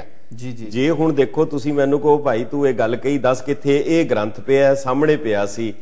ਪੂਰੇ 71 ਮਿੰਟ ਉਹ ਸਾਡੀ ਲਾਈਨ ਤੇ ਸੀ। ਪਰ ਉਸ ਤੋਂ ਵੀ ਵੱਧ ਹਾਸੋਹੀਣੀ ਗੱਲ ਇਹ ਹੈ ਕਿ ਜਦੋਂ ਇਹ ਗੱਲ ਕਹੀ ਗਈ ਉਹਨਾਂ ਨੇ ਕਿਹਾ ਮੈਂ ਇਹਦਾ ਜਵਾਬ 6 ਮਹੀਨੇ ਬਾਅਦ ਦੇਵਾਂਗਾ ਜੀ। ਸੋ ਜੇ ਅਗਰ ਇਤਨੀ ਅਹਿਮ ਹੈ ਗਲਤ ਗੱਲ ਹੈ ਤੇ ਇਸ ਨੂੰ ਕਿਉਂ ਨਹੀਂ ਦੂਰ ਕਰਦੇ? ਫਿਰ ਉਹਨਾਂ ਨੇ ਕਿਹਾ ਮੈਂ ਹਫ਼ਤੇ ਬਾਅਦ ਦੇਵਾਂਗਾ ਫਿਰ ਜਿਸ ਦਿਨ ਆਏ ਹੈ ਤੇ ਉਹ ਉਸ ਗੱਲ ਨੂੰ ਛੱਡ ਕੇ ਤੇ ਉਹ ਦਸਮ ਗ੍ਰੰਥ ਕੀ ਹੈ ਤੇ ਫਲਾਣਾ ਕੀ ਹੈ ਤੇ ਹੋਰ ਗੱਲਾਂ ਕੀ ਹੈ ਸੋ ਕਹਿੰਦੇ if the law is in your favour quote it otherwise try to confuse and try to make other things ਹੁਣ ਇਸ ਦੇ ਵਿੱਚ ਇੱਕ ਗੱਲ ਹੈ। ਦੂਜੀ ਗੱਲ ਜਿਹੜੀ ਹੋ ਗਈ ਤੇ ਜੇ ਅਗਰ ਹੈਗਾ ਅੱਜ ਵੀ ਸਵਾਲ ਹੋਈ ਹੈ ਅੱਜ ਵੀ ਸਵਾਲ ਹੋਰ ਕੋਈ ਨਹੀਂ। ਸਵਾਲ ਇੱਕੋ ਹੀ ਹੈ ਕਿ ਉਹਨਾਂ ਨੇ ਬਾਰ-ਬਾਰ ਇਹ ਕਿਹਾ ਕਿ ਦਸਮ ਗ੍ਰੰਥ ਸ੍ਰੀ ਦਸਮ ਗ੍ਰੰਥ ਦੇ ਵਿੱਚ ਇਹ ਲਿਖਿਆ ਤੁਸੀਂ ਪੜ੍ਹ ਲਓ ਕਿ ਗੁਰੂ ਗੋਬਿੰਦ ਸਿੰਘ ਜੀ ਨੇ ਸੋਚਿਆ ਸੋਚੀ ਪੈ ਗਏ ਕਿ ਜੇ ਮੈਂ ਇਸ ਦੇ ਨਾਲ ਇਸ ਵੇਸ਼ਿਆ ਦੇ ਨਾਲ ਸੰਬੰਧ ਜੋੜਾਂਗਾ ਤੇ ਇਹ ਗੱਲ ਹੋਏਗੀ ਔਰ ਇਸ ਦੇ ਬਾਅਦ ਗੁਰੂ ਸਾਹਿਬ ਦੇ ਨਾਲ ਜੋ ਵਰਤਾਰਾ ਉਹਨਾਂ ਨੇ ਦੱਸਿਆ। ਮਤਲਬ ਉਹ ਤੇ ਗੱਲ ਕਲੀਅਰ ਹੋ ਡਾਕਟਰ ਜੋਤ ਸਿੰਘ ਕਹਿ ਰਿਹਾ ਕਿਤੇ ਵੀ ਨਹੀਂ ਹੈ। ਉਹਦੇ ਵਿੱਚ ਮੈਂ ਦੂਜੀ ਗੱਲ ਇਹ ਕਹਿਣੀ ਚਾਹੁੰਦਾ ਤੁਸੀਂ ਇਹ ਕਹਿੰਦੇ ਹੋ ਕਿ ਅਸੀਂ ਇਹਨੂੰ ਇਗਨੋਰ ਕਰ ਦਿੰਦੇ। ਬੜੀ ਬੜੀ ਚੰਗੀ ਗੱਲ ਹੈ। ਬੜੀ ਸ਼ਾਂਤੀ ਰਹਿੰਦੀ ਹੈ। ਬੜਾ ਅੱਛੀ ਗੱਲ ਹੈ। ਗੁਰੂ ਬਾਬਾ ਰਾਮ ਰਾਏ ਜੀ ਗੁਰੂ ਦੀ ਅੰਸ਼ ਸੀ ਗੁਰੂ ਦੀ ਸੰਤਾਨ ਸੀ। ਬੜਾ ਅੱਛਾ ਜੀਵਨ ਸੀ। ਹਰ ਰਾਏ ਜਿਹੜੇ ਬਾਬਾ ਰਾਮ ਰਾਏ ਜੀ ਗੁਰੂ ਦੀ ਸੰਤਾਨ ਸੀ। ਅਸੀਂ ਉਹਨਾਂ ਨੇ ਸਾਰੀ ਜ਼ਿੰਦਗੀ ਬੜੇ ਚੰਗੇ ਕੰਮ ਕੀਤੇ ਪਰ ਕੇਵਲ ਇੱਕ ਛੋਟਾ ਜਿਹਾ ਲਫ਼ਜ਼ ਉਹਨਾਂ ਦਾ ਮਿੱਟੀ ਮੁਸਲਮਾਨ ਕੀ ਨੂੰ ਮਿੱਟੀ ਬੇਈਮਾਨ ਕੀ ਕਹਿਣਾ ਗੁਰੂ ਸਾਹਿਬ ਨੇ ਇਗਨੋਰ ਨਹੀਂ ਕੀਤਾ। ਸਿਧਾਂਤ ਦੇ ਉੱਤੇ ਬੇਅਸੂਲੇ ਸਾਧ ਨਾਲੋਂ ਬਾਅਸੂਲਾ ਡਾਕੂ ਲੱਖ ਦਰਜੇ ਚੰਗਾ ਹੁੰਦਾ ਉਹਦਾ ਸਿਧਾਂਤ ਹੁੰਦਾ ਹੈਗਾ। ਜੀ ਰਜੀਵ ਗਾਂਧੀ ਨੇ ਇੱਕ ਗੱਲ ਕਹਿ ਦਿੱਤੀ ਕਿ ਬੜਾ ਪੇੜ ਗਿਰਤਾ ਹੈ ਧਰਤੀ ਹਿਲਤੀ ਹੈ ਉਹ ਹੁਣ ਸਦੀਆਂ ਤੱਕ ਰਹਿਣਾ ਜੇ ਮਹਾਤਮਾ ਗਾਂਧੀ ਨੇ ਲਫ਼ਜ਼ ਕਹਿਤਾ ਗੁਰੂ ਗੋਬਿੰਦ ਸਿੰਘ ਜੀ ਗੁੰਮਰਾਹ ਦੇਸ਼ ਭਗਤ ਤੇ ਸਵਾਲ ਹੈ ਜਿਹੜੇ ਲਫ਼ਜ਼ ਪ੍ਰੋਫੈਸਰ ਸਾਹਿਬ ਨੇ ਕਹਿ ਦਿੱਤੇ ਹੈ ਉਹ ਇਗਨੋਰ ਨਹੀਂ ਕੀਤੇ ਜਾ ਸਕਦੇ। ਹਾਂ ਇਗਨੋਰ ਕੀਤੇ ਜਾ ਸਕਦੇ ਹੈ ਗੁਰੂ ਦੀ ਨਿੰਦਾ ਸੁਣਨ ਤੇ ਗੁਰੂ ਦੀ ਨਿੰਦਾ ਨੂੰ ਬਰਦਾਸ਼ਤ ਕਰਨ ਤੇ। ਅੱਜ ਵੀ ਸ੍ਰੀ ਅਕਾਲ ਤਖਤ ਸਾਹਿਬ ਨੇ ਉਹਨਾਂ ਨੂੰ ਕੇਵਲ ਇੱਕ ਬੜਾ ਸਿੱਧੀ ਜੀ ਗੱਲ ਪੁੱਛੀ ਹੈ ਕਿ ਤੁਸੀਂ ਇਹ ਦੱਸ ਦਿਓ ਕਿ ਇਹ ਕਿੱਥੇ ਹੈ। ਤੇ ਇਹਦਾ ਜਵਾਬ ਤੇ ਅੱਧੇ ਮਿੰਟ ਦਾ ਹੈ ਪਰ ਉਹਦੇ ਲਈ ਬੜਾ ਲਾਮ ਕਾਫ ਤੇ ਉਹਦੇ ਲਈ ਬੰਦੇ ਇਕੱਠੇ ਕਰਨੇ ਤੇ ਹੋਰਾਂ ਨੂੰ ਸਾਰਿਆਂ ਨੂੰ ਪਾਣਾ ਨਹੀਂ ਪਰ ਅਖਬਾਰ 'ਚ ਇਸ਼ਤਿਹਾਰ ਦਿੱਤਾ ਕਿ ਉਹ ਵੀਲ ਚੇਅਰ ਦੇ ਉੱਤੇ ਨੇ। ਹਾਂਜੀ ਉਹ ਵੀ ਹੁਣ ਇਸ਼ਤਿਹਾਰ ਉਹਨਾਂ ਨੇ ਪਹਿਲੇ ਵੀ ਦਿੱਤਾ ਵੀਲ ਚੇਅਰ ਤੇ ਆ। ਅੱਜ ਉਹਨਾਂ ਨੇ ਇਸ਼ਤਿਹਾਰ ਦਿੱਤਾ ਬੜਾ ਵੱਡਾ ਕਿ ਮੈਂ ਤੇ ਵੀਲ ਚੇਅਰ ਤੇ ਆ। ਤੇ ਨਾਲ ਹੀ ਉਹ ਦੂਸਰੇ ਦਿਨ ਉਹ ਜਿਹੜਾ ਉੱਥੇ ਟੀਵੀ ਦੇ ਉੱਤੇ ਉਹਨਾਂ ਦਾ ਪ੍ਰੋਗਰਾਮ ਵਾਕ ਇਨ ਪ੍ਰੋਗਰਾਮ ਆ ਰਿਹਾ ਸੈਰ ਕਰਦੇ ਹੋਏ ਕਹਿ ਰਹੇ ਸੋ ਕੀ ਇਹਦਾ ਮਤਲਬ ਹੈ? ਜਿਵੇਂ ਇੱਥੇ ਉਹਨਾਂ ਨੇ ਨਾਟਕੀ ਅੰਦਾਜ਼ ਦੇ ਵਿੱਚ ਕੀਤਾ ਕਿਧਰੇ ਉੱਥੇ ਵੀ ਉਹ ਕੋਈ ਵੱਡੇ ਨਾਟਕ ਦਾ ਜਾਂ ਵੱਡੇ ਡਰਾਮੇ ਦਾ? ਇਹ ਤੇ ਸਵਾਲ ਚਿੰਨ ਖੜਾ ਕਰਦਾ ਕਿ ਇੱਕ ਦਿਨ ਪਹਿਲਾਂ ਉਹ ਇਸ਼ਤਿਹਾਰ ਦਿੰਦੇ ਨੇ ਕਿ ਮੈਂ ਦੂਜੇ ਦਿਨ ਉਹ ਵੀ ਦੂਜੇ ਦਿਨ ਉਹ ਦੇ ਨਾਲ ਪੀਟੀਸੀ ਦੇ ਉੱਤੇ ਉਹਨਾਂ ਦੀ ਹਾਂਜੀ ਉਹ ਕਿਸੇ ਇੱਕ ਟੀਵੀ ਚੈਨਲ ਦੇ ਉੱਤੇ ਉਹ ਟੁਰ ਕੇ ਜਿਹੜਾ ਸਾਰਾ ਇੰਟਰਵਿਊ ਦੇ ਰਹੇ ਆ। ਸੋ ਇਹ ਸਾਰੀ ਗੱਲ ਨੂੰ ਦੱਸਦਾ ਹੈ ਕਿ ਸ਼ੱਕੀ ਬਣਾਉਂਦਾ ਹੈ। ਕਿ ਉਹ ਅਸਲੀ ਗੱਲ ਨੂੰ ਲੁਕਾਉਣ ਲਈ ਦੇਖੋ ਮੈਂ ਕੁਝ ਸਵਾਲ ਤੁਹਾਡੇ ਨਾਲ ਕਰਨੇ ਆ ਕਿ ਜਿਹੜੀ ਇਹ ਗੱਲ ਕੀਤੀ ਜਾ ਰਹੀ ਹੈ ਕਿ ਦਸਮ ਗ੍ਰੰਥ ਨੂੰ ਗੁਰੂ ਗ੍ਰੰਥ ਸਾਹਿਬ ਦੇ ਬਰੋਬਰ ਜਿਹੜਾ ਹੈ ਉਹ ਪ੍ਰਕਾਸ਼ ਕੀਤਾ ਜਾ ਰਿਹਾ ਕੁਝ ਥਾਵਾਂ ਦੇ ਉੱਤੇ ਖਾਸ ਤੌਰ ਦੇ ਉੱਤੇ ਹਜ਼ੂਰ ਸਾਹਿਬ ਦਾ ਜ਼ਿਕਰ ਹੁੰਦਾ ਕਿਉਂਕਿ ਸਮਾਂ ਬੜਾ ਘੱਟ ਹੈ ਸਵਾਲ ਮੇਰੇ ਬਹੁਤ ਜ਼ਿਆਦਾ ਨੇ ਤੁਸੀਂ ਛੇਤੀ ਛੇਤੀ ਕਿਉਂਕਿ ਮੈਂ ਇਹ ਸਵਾਲ ਕਰਨਾ ਚਾਹੁੰਦਾ ਕਿ ਮਤਲਬ ਵਾਕਿਆ ਹੀ ਬਰੋਬਰ ਪ੍ਰਕਾਸ਼ ਕੀਤਾ ਜਾਂਦਾ ਹੈ ਉੱਥੇ ਕਿਉਂਕਿ ਹਰ ਨਾਨਕ ਨਾਮ ਲੇਵਾ ਦਾ ਜਿਹੜਾ ਇਸ਼ਟ ਹੈ ਉਹ ਤੇ ਸਾਹਿਬ ਸ੍ਰੀ ਗੁਰੂ ਗ੍ਰੰਥ ਸਾਹਿਬ ਹੈ ਜੀ ਦੇਖੋ ਇਹਦੇ ਵਿੱਚ ਕੋਈ ਦੋ رائے ਨਹੀਂ ਕੋਈ ਦੁਬਦਾ ਨਹੀਂ ਅੱਜ ਤੱਕ ਪੂਰੀ ਦੁਨੀਆ ਦੁਨੀਆ ਦੇ ਵਿੱਚ ਕਿਸੇ ਬੰਦੇ ਨੇ ਵੀ ਕਿਸੇ ਵਿਅਕਤੀ ਨੇ ਨਹੀਂ ਕਿਹਾ ਕਿ ਗੁਰੂ ਗ੍ਰੰਥ ਸਾਹਿਬ ਸਾਡਾ ਇਸ਼ਟ ਨਹੀਂ ਹੈ ਗੁਰੂ ਗ੍ਰੰਥ ਸਾਹਿਬ ਨਹੀਂ ਹੈ। ਜੀ। ਇੱਕ ਵਾਰ ਫਿਰ ਸਪਸ਼ਟ ਕਰ ਦਿੱਤਾ ਜਾਏ ਕਿ ਚੰਵਰ ਔਰ ਛਤਰ ਔਰ ਤਖਤ ਦਾ ਮਾਲਕ ਕੇਵਲ ਸਾਹਿਬ ਸ੍ਰੀ ਗੁਰੂ ਗ੍ਰੰਥ ਸਾਹਿਬ ਜੀ ਹੈ। ਜੀ। ਪਰ ਸਿੱਖ ਰਹਿਤ ਮਰਿਆਦਾ ਦੇ ਵਿੱਚ ਵੀ ਲਿਖਿਆ ਹੈ ਸਿੱਖ ਨੂੰ ਸਿੱਖ ਬਣਾਉਣ ਲਈ ਸਿੱਖ ਨੂੰ ਸਿੱਖ ਕਾਇਮ ਰੱਖਣ ਲਈ ਸਿੱਖ ਨੇ ਨਿਤਨੇਮ ਕਿਹੜਾ ਕਰਨਾ ਹੈ? ਉਹਨੇ ਅੰਮ੍ਰਿਤ ਦੀ ਬਾਣੀ ਕਿਹੜੀ ਪੜ੍ਹਨੀ ਹੈ? ਉਸਨੇ ਜਿਹੜੀ ਕੀਰਤਨ ਕਿਹੜਾ ਕਰਨਾ ਹੈ? ਉਹਦੇ ਵਿੱਚ ਦੋ ਲਫ਼ਜ਼ ਲਿਖੇ ਹੈ ਗੁਰੂ ਗ੍ਰੰਥ ਸਾਹਿਬ ਅਤੇ 10 ਗੁਰੂ ਸਾਹਿਬਾਨ ਦੀ ਬਾਣੀ ਤੇ ਨਿਸ਼ਚਾ ਰੱਖੇ। ਇਹਦਾ ਮਤਲਬ ਬਾਣੀ ਦੇ ਸਰੋਤ ਸ੍ਰੀ ਗੁਰੂ ਗ੍ਰੰਥ ਸਾਹਿਬ ਅਤੇ ਦਸਮ ਪਾਤਸ਼ਾਹ ਦੀ ਬਾਣੀ ਗੁਰੂ ਗੋਬਿੰਦ ਸਿੰਘ ਸਾਹਿਬ ਦੀ ਬਾਣੀ ਹੈ। ਇਹਨਾਂ ਦੋਨਾਂ ਦੇ ਬਿਨਾ 6 ਬਾਣੀਆਂ ਹੈ ਨਿਤਨੇਮ ਦੀਆਂ। ਜਿਨ੍ਹਾਂ ਚੋਂ ਚਾਰ ਬਾਣੀਆਂ ਗੁਰੂ ਗੋਬਿੰਦ ਸਿੰਘ ਸਾਹਿਬ ਦੀਆਂ ਸ੍ਰੀ ਦਸਮ ਗ੍ਰੰਥ ਦੇ ਵਿੱਚੋਂ ਹੈ। ਜੇ। ਅੰਮ੍ਰਿਤ ਦੀਆਂ 6 ਬਾਣੀਆਂ ਦੇ ਵਿੱਚੋਂ ਚਾਰ ਬਾਣੀਆਂ ਸ੍ਰੀ ਦਸਮ ਗ੍ਰੰਥ ਦੇ ਵਿੱਚੋਂ ਹੈ।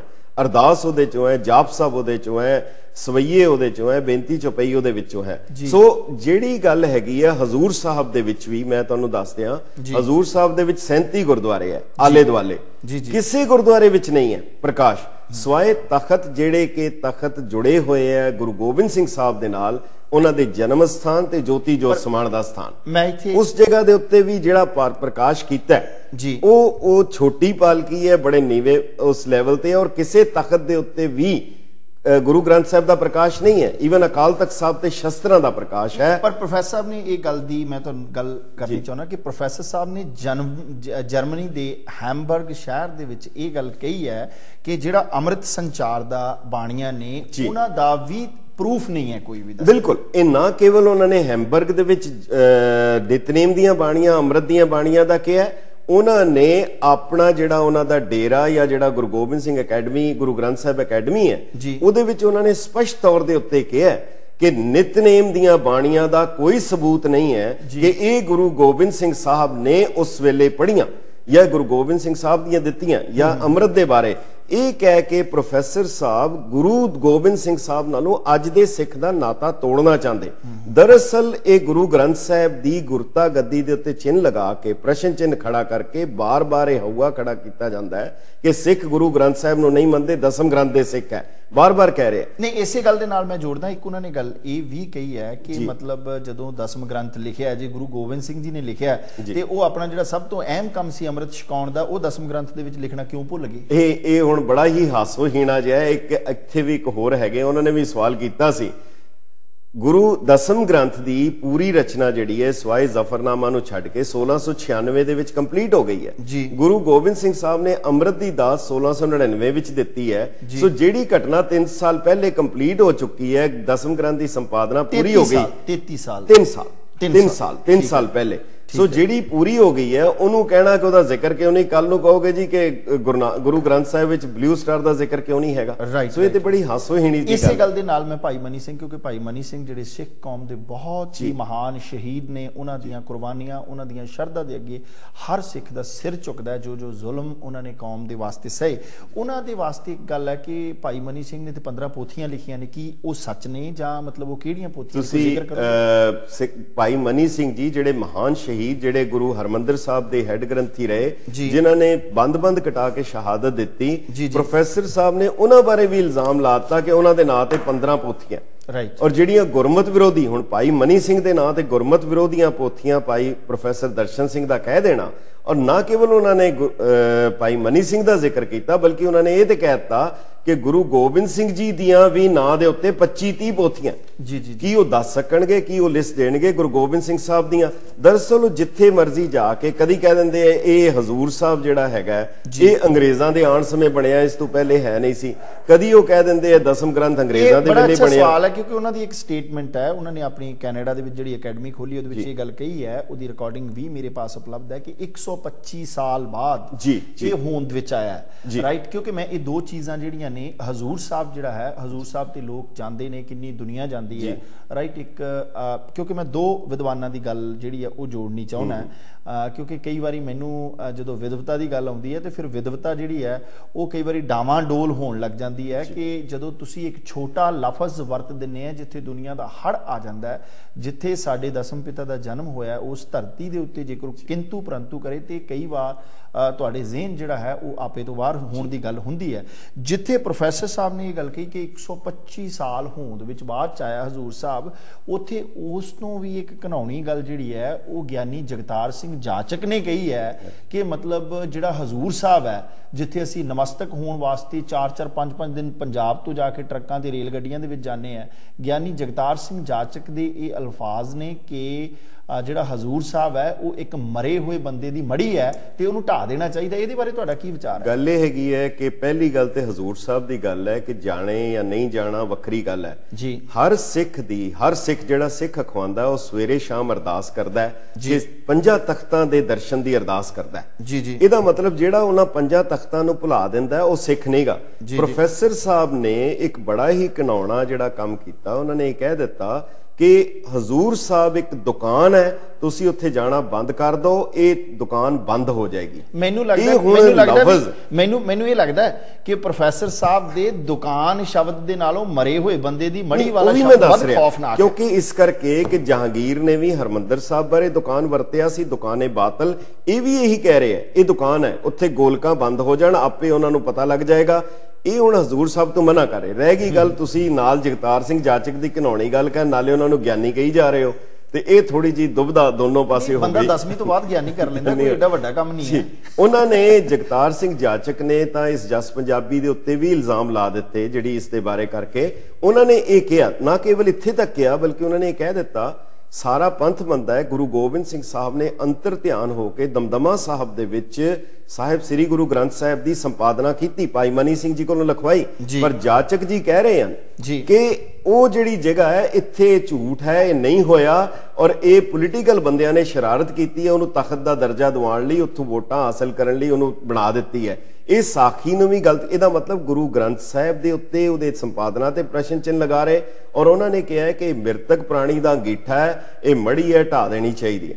ਹੁਣ ਇਸ ਤਰ੍ਹਾਂ ਦੇ ਲਫ਼ਜ਼ ਇੱਕ ਸਿੱਖ ਦੇ ਮੂੰਹੋਂ ਨਿਕਲੇ, ਬਲਕਿ ਇਹਨਾਂ ਦੇ ਇੱਕ ਹੋਰ ਸਾਥੀ ਹੈ। ਉਹ ਉਹਨੇ ਤਾਂ ਇਹ ਕਹਿਤਾ ਪਟਨਾ ਸਾਹਿਬ ਵੀ ਸਿੱਖ ਨੂੰ ਜਾਣ ਦੀ ਲੋੜ ਇਹਨਾਂ ਦੀ ক্লোਜ਼ ਹੈਗੇ ਆ ਨਾਂ ਲੈ ਕੇ ਕਿਉਂ ਉਹਨਾਂ ਨੂੰ ਫਿਰ ਤੁਸੀਂ ਮਾਨਤਾ ਦਿਓ? ਦੋਸਤ ਦਾ ਦੋਸਤ ਕਹਿੰਦੇ ਹੁੰਦੇ ਨੇ ਹਾਂ ਉਹ ਕਹਿੰਦੇ ਜੀ ਕਿ ਪਟਨਾ ਸਾਹਿਬ ਵੀ ਨਾ ਜਾਓ। ਦਰਅਸਲ ਉੱਥੇ ਜਿਹੜਾ ਗੁਰੂ ਗੋਬਿੰਦ ਸਿੰਘ ਸਾਹਿਬ ਦੀ ਗੁਰਤਾ ਤੋਂ ਪਹਿਲੇ ਦੀ ਗੱਲ ਅਸੀਂ ਕੀ ਲੈਣਾ ਦਰਅਸਲ ਇਹ ਕਰਕੇ ਸਿੱਖ ਦਾ ਨਾਤਾ ਗੁਰੂ ਗੋਬਿੰਦ ਸਿੰਘ ਸਾਹਿਬ ਤੋਂ ਤੋੜਨਾ ਚਾਹੁੰਦੇ ਆ। ਉਹਨਾਂ ਦੀ ਬਾਣੀ ਤੋਂ ਉਹਨਾਂ ਦੇ ਬਾਣੇ ਤੋਂ ਉਹਨਾਂ ਦੇ ਸਥਾਨਾਂ ਤੋਂ ਜਿਹੜੀ ਚੀਜ਼ ਵੀ ਗੁਰੂ ਗੋਬਿੰਦ ਸਿੰਘ ਸਾਹਿਬ ਨਾਲ ਜੁੜਦੀ ਹੈ ਉਸ ਤੋਂ ਇਹ ਨਫ਼ਰਤ ਪੈਦਾ ਕਰਨਾ ਚਾਹੁੰਦੇ ਆ।